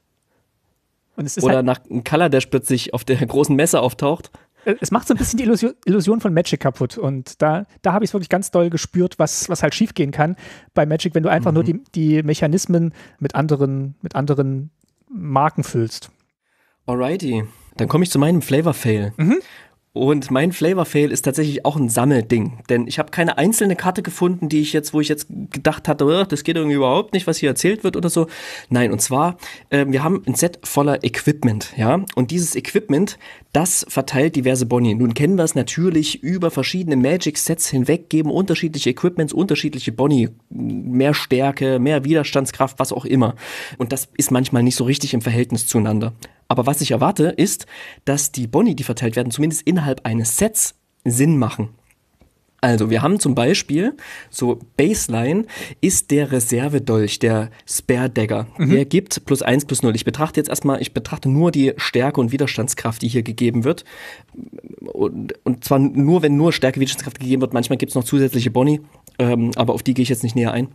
Also, der Reservedolch gibt plus eins plus null ein Stärke mehr, keine Widerstandskraft mehr. Mhm. Dann haben wir die ähm, Lederrüstung, die Leather Armor, die gibt plus 0 plus 1. Ist eine einfache, ähm, eine einfache Rüstung quasi. Ne?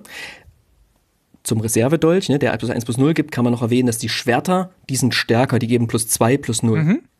Oder plus 2 plus 1. Ne? Das macht total Sinn. Bis hier macht alles Sinn. So, ja, bis hier macht alles Sinn. Und dann gibt's die Fackel des Erforschers das ist vielleicht, wenn ich eine Karte benennen möchte, die müsste die ein Flavor Fail ist, mein Flavor Fail, die Delvers Torch, denn die gibt plus eins plus eins. Ja. Es ist eine Fackel, die dir Widerstandskraft gibt und die dir mehr Power gibt. Macht für mich keinen richtigen Sinn. Die macht was hell, ja, es ist zwar auf der Karte ein schöner Flavortext irgendwie drauf mit, wenn man keine Dunkelsicht hat und sowas, braucht man irgendwie die Fackel und sowas. Schön wäre, hätte ich vielleicht noch irgendwas mit Hellsicht gefunden, ja, ähm, auch wenn es vielleicht nur so äh, minimal gepasst hätte noch zum Vergleich, der Goblin Morgenstern, der Goblin Morningstar gibt plus 1 plus 0. Auch der ist schwächer als eine Fackel. Ja. Ist aber aus Metall und hat Spitzen an seiner Kugel oben dran. Und dann gibt's noch die Stiefel der Geschwindigkeit. Auch die geben plus 1 plus 0. Ja, die Boots of Speed. Wieder, wieder also Dolch. hier finde ich, Genau, so wie der Dolch, ja. Also hier sind Stiefel, die sind so stark wie ein Dolch, den man werfen kann und den man auch flavormäßig werfen kann tatsächlich. Ich finde, das passt alles nicht so richtig zusammen. Und ja, man kann hier irgendwie ne, sagen, irr und äh und irr, mich hat's gestört. Deswegen ist das, diese Bonnie, die hier verteilt werden, mein Flavor-Fail. Und jetzt noch in Klammern, es ist natürlich auch nicht leicht, wenn man nur ein Stat, ein Power, ein Toughness vergeben kann. Ne? Ja. Dann auch Artefakte müssen ja auch relevant sein.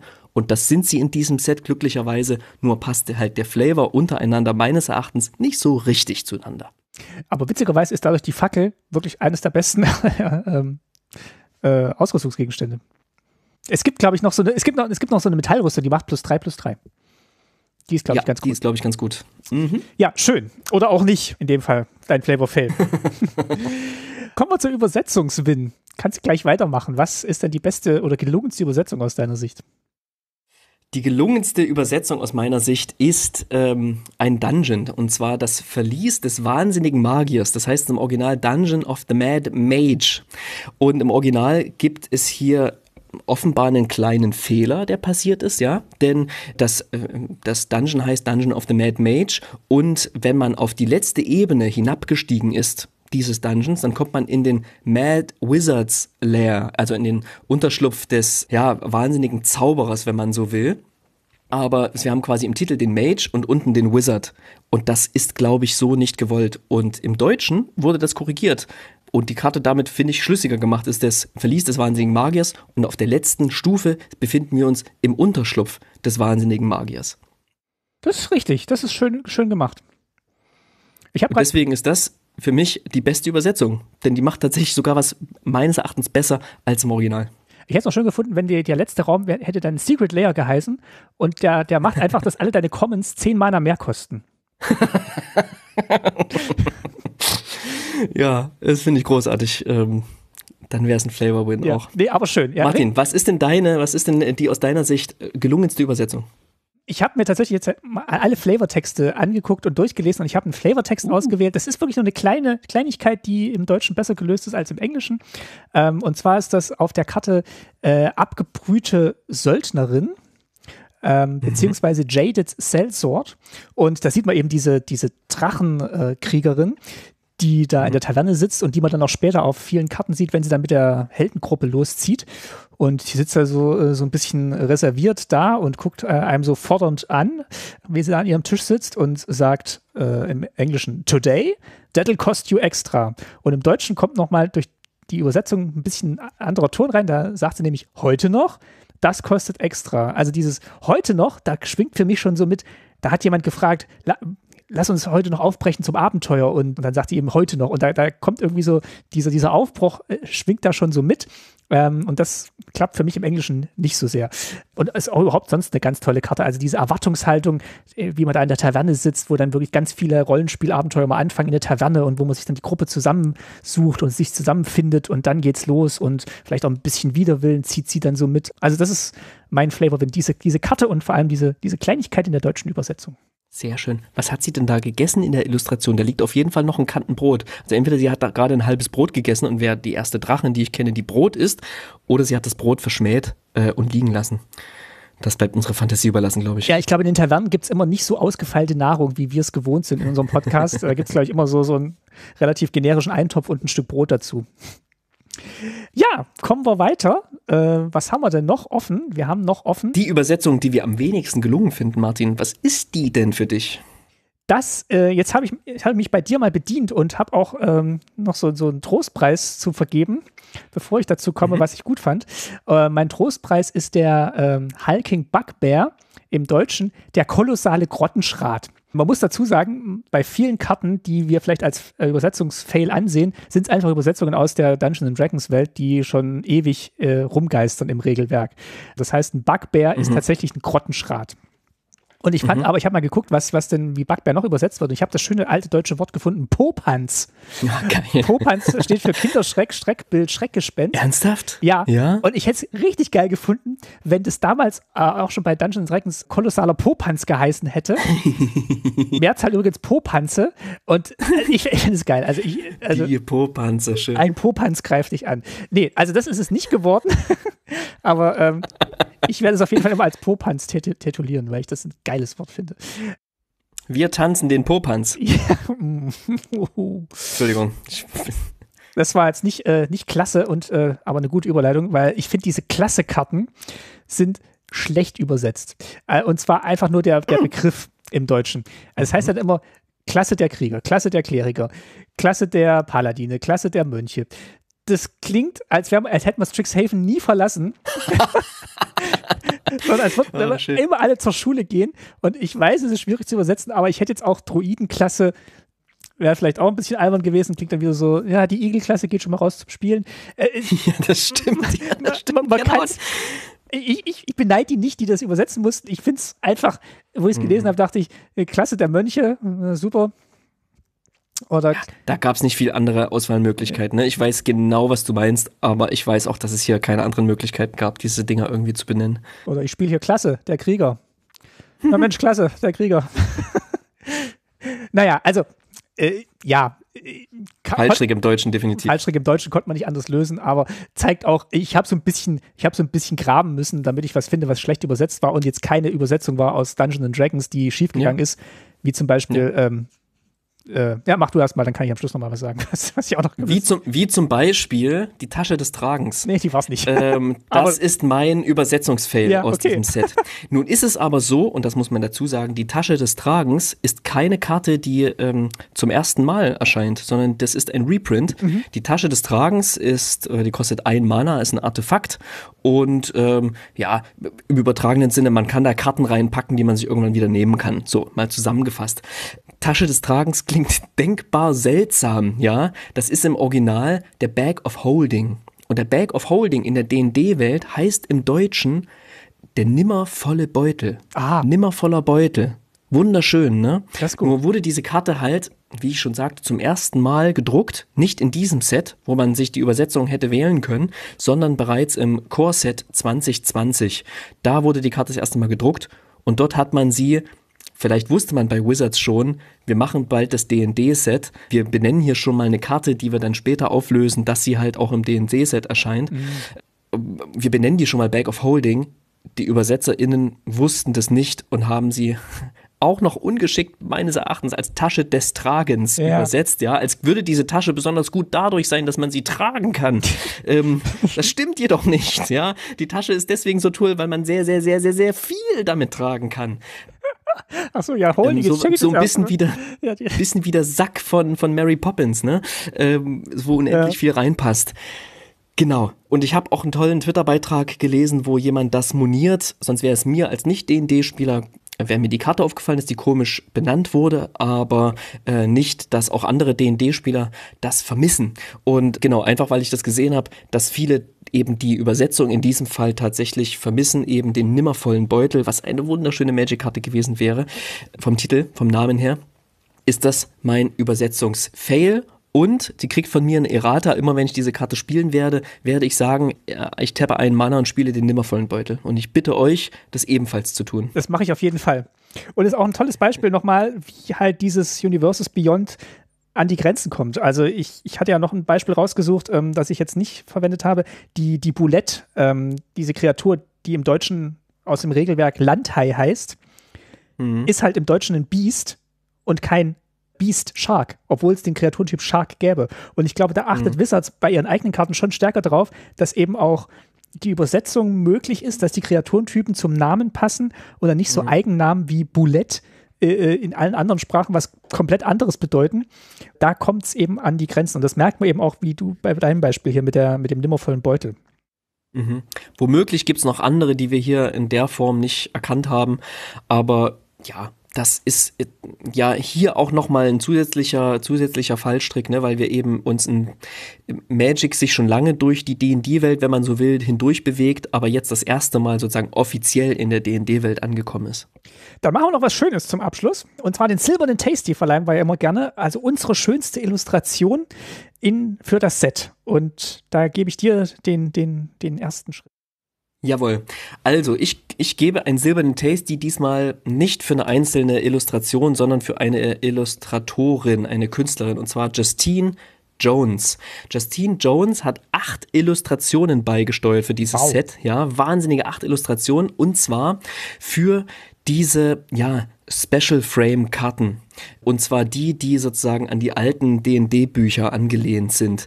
Diese Karten zeichnen sich dadurch aus, dass sie wirklich seltsam aussehen. Wie soll ich das beschreiben? Also als wären diese Karten, der Hintergrund ist so ein gelbes, vergilbtes Pergament.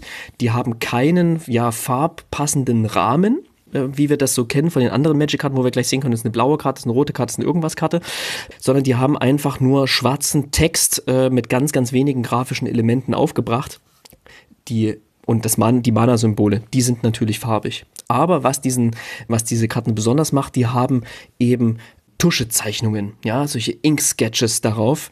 Und die sind gerade von Justine Jones extrem cool. Wir kennen Justine Jones bereits von drei anderen Karten, die sie gezeichnet hat. Und zwar für das eins der allerersten Secret Lair, die rausgekommen sind. Für den Reaper King, den Sliver Overlord und den Ur Dragon. Mhm. Weiß nicht, ob ihr euch an die noch erinnern könnt. Ja. Die waren irgendwie, wie hieß das? Prismatic, nee, oder irgendwie sowas. Oder Kaidolo, Kaidolo, Kaidolos. Kaleidoskop. Oh, Kaleidoskop Killers oder irgendwie sowas, ja. Irgend so. Irgendwie sowas. Ja, keine Ahnung, ja. Aber Kaleidoskop irgendwas. Also fünffarbige Karten, die sie illustriert hat, die ich damals schon abgefeiert habe. Ich habe auch dieses Secret Lair damals geholt und habe auch den Ur Dragon als, als, als einen Commander. Und die sind eben auch in Tusche gezeichnet und, illust und, und farbig noch ähm, äh, ganz, ganz toll ähm, koloriert worden. Und im Dungeons Dragons Set haben diese Tuschezeichnungen nur einen farbigen Hintergrund passend zur Farbidentität mhm. dieser Karte. Also die grünen Karten haben den knallgrünen Hintergrund, einfarbig, ohne Struktur. Die mehrfarbigen Karten sind golden, die blauen blau und so weiter. Und hier kommen diese wunderbaren Tuschezeichnungen raus. Ich bin ein Freund dieser Tuschezeichnungen. Ich habe ja schon im Kaltheim-Set Tuschezeichnungen, die ganz, ganz äh, minimal mit, mit roter Tusche dann koloriert war, zu meinem einem silbernen Tasty verliehen. Und auch hier wieder merke ich, das ist ganz, ganz toll. Das tut Magic irgendwie gut. Das passt sehr, sehr gut zu diesen Frames. Und äh, Justine Jones ist eine ganz, ganz tolle Künstlerin, die mit sehr, sehr vielen Details, die ja, mehr tun, als für die Größe der Karte notwendig ist, arbeitet. Das kann man auch meines Erachtens ein bisschen im Vergleich zu den anderen Tuschezeichnungen sehen, die es gibt. Die stechen für mich total raus. Also sie hat zum Beispiel illustriert den Baleful Beholder, Xorn, den Mindflayer, äh, Salto, Fire Giant Duke, den Lurking Roper, The Tarrasque, äh, Shezra, Death Whisper und den Iron Golem. Und toll, ganz, ganz großartig. Das sind Karten, die ja sehr ungewöhnlich sind für so ein Magic-Set, aber sie haben für mich so gut funktioniert zu dem, was es hier passt. Und ich bin wieder so froh, dass die Art Directors es geschafft haben, diese Illustratoren ja, mit ihrem Stil wieder in ein Magic-Set einzubauen, was kein Secret Lair ist, sondern ein ja, reguläres Magic-Set und was wieder mal die Stärke dieser Special Frame-Karten zeigt. Äh, in hinsichtlich der Illustration. Also toll, dafür gibt es von mir einen silbernen Tasty für Justine Jones und ihre Illustrationen für dieses Set. Richtig verdient und ähm, ganz toll ja auch, weil sich das an diesem Handbuch der Monster orientiert, also diesem riesen Nachschlagewerk, mit dem er sein, seine Dungeons and Dragons Runden bestreitet, wo dann eben auch dieser Stil gepflegt wird und wo man dann die, die Monster einzeln nachgucken kann und da, da orientiert sich das dran. Es passt einfach sehr gut und ist eine schöne, schöne Idee für diese Special Frames in diesem Set.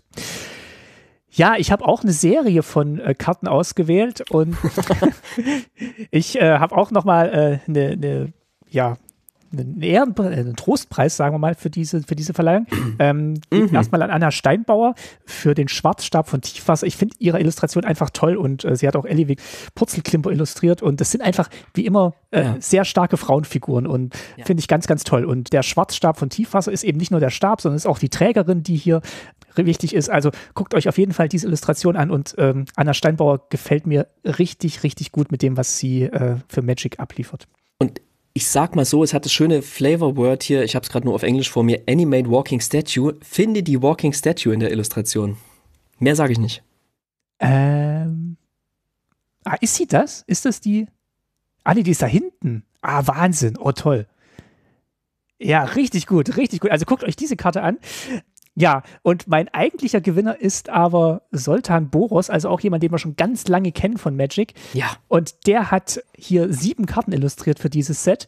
Unter anderem wow. auch mehrere Karten mit dieser Heldentruppe, die wir immer wieder mal sehen auf einzelnen Karten in verschiedenen Situationen. Nicht alle hat er gezeichnet, aber er hat hier eben mehrmals diese, diese Heldengruppe gezeichnet, die halt auch so charakteristisch ist für diesen Ausflug in den mhm. Dungeons, wo du mit deinen Freunden in der D&D-Runde unterwegs bist. Er hat auch ja den magischen Schlaf nochmal illustriert, er hat den Halbelfmönch illustriert, den raffinierten Beschwörer und dann eben so Karten wie Teilung der Heldengruppe auf Fallen prüfen ihr trefft euch in einer Taverne. Also, wenn ich eine Karte auswählen müsste, die für mich dieses Set zusammenfasst, illustrativ, dann ist es, ihr trefft euch in einer Taverne. Also da da geht's los, da werden die Pläne geschmiedet, da finden sich alle zusammen.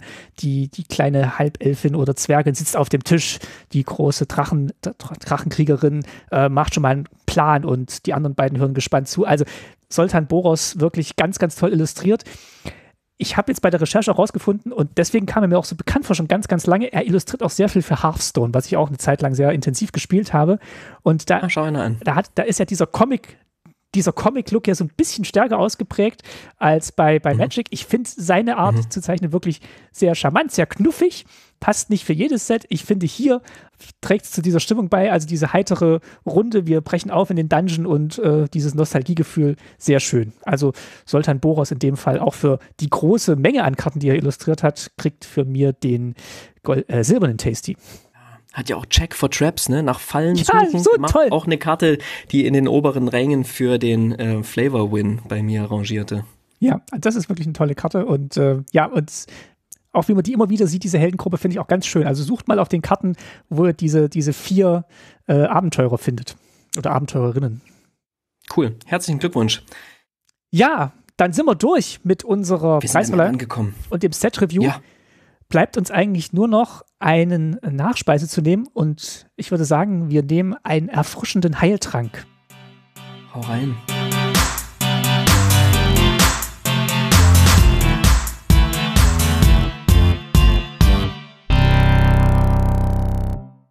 Ja, ich wollte zur Nachspeise nochmal ganz kurz auf die Ursprünge dieses Sets hinweisen und dich vielleicht auch nochmal ein bisschen interviewen. Welche Ursprünge?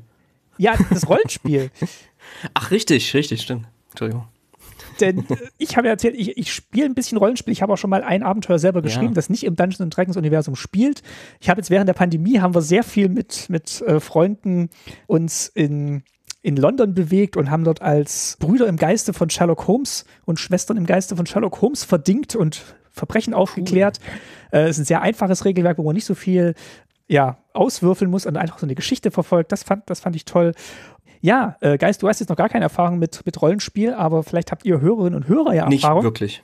Und äh, schreibt uns doch mal, was ihr so als Einstieg empfehlen könnt. Ähm, was, was macht euch Spaß und äh, was, was spielt ihr gerne?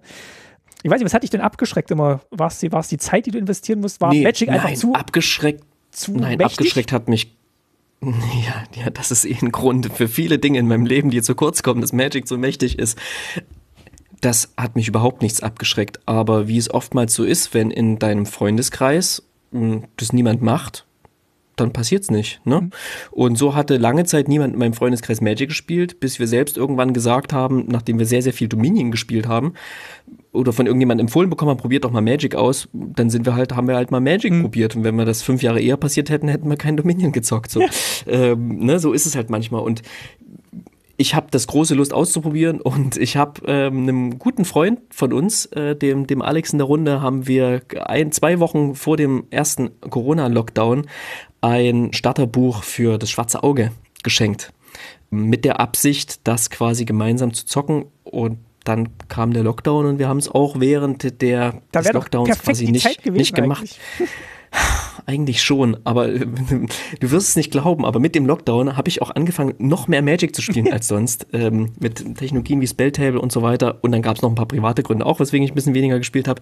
Ähm, genau, und da war einfach dann weniger Zeit da. Deswegen, ja, Martin, ich freue mich drauf, das mit dir jetzt einfach mal gemeinsam ähm, ausprobieren zu können und dann mal zu gucken, was uns das so, was das Spiel, was das so macht und warum das so viele Leute auf der Welt spielen. Also wir hatten wirklich sehr viel Spaß äh, mit dieser, dieser Gruppe, die wir jetzt in der Pandemie gespielt haben. Es waren, einmal waren es, glaube ich, sechs Abende, dann nochmal, glaube ich, sechs und einmal fünf. Also es hat uns wirklich lange Zeit durch mehrere Lockdowns getragen und es war dann immer so ein schöner Rhythmus. Ah, jetzt treffen wir uns heute Abend wieder und mal gucken, ob wir den Fall heute lösen können. Und ja, also wenn ihr da noch Tipps habt und gute Sachen empfehlen könnt. Schreibt uns in die Kommentare, schreibt uns überhaupt in die Kommentare, wie ihr dieses Crossover von Magic und Rollenspiel, in dem Fall Dungeons and Dragons, findet. Ihr findet uns auf www.tastymtg.de und auf Twitter unter tasty-mtg oder mtg. Ja, das war eine wunderschöne Folge eine sehr diskussionsreiche Folge, wie ich finde. Und viele Sachen muss ich für mich auch selber, glaube ich, noch verhandeln und bin gespannt mit dir in den nächsten Wochen, wenn wir das zocken, äh, bis zum nächsten, also in den nächsten ein, zwei Wochen bis zum nächsten Set, äh, quasi über dieses hier zu sprechen. Nee, jetzt sind wir, glaube ich, erstmal ein bisschen weiter verschont. Ich weiß gar nicht genau, wann die ganzen Innistrad-Sets kommen. Da kommen ja dann gleich zwei hintereinander. Ja, das ist ja dann zu unserem, zu unserem Jahresjubiläum. Also dann haben wir ja mit dem Herbstset 2020 ja, haben wir ja angefangen. Und da, äh, genau. aber dazwischen hören wir uns natürlich auch noch. Teilt uns eure Meinung, bleibt mit uns im Gespräch. Wir freuen uns über jeden Kommentar und jede Bewertung auf den einschlägigen Podcatcher-Plattformen, Podcast-Plattformen. Bleibt uns gewogen und wir freuen uns extrem darauf, ähm, ja, mit euch auf Twitter ein bisschen zu interagieren. Genau, und jetzt wagen wir uns ins Gewölbe. Macht's gut. Ciao.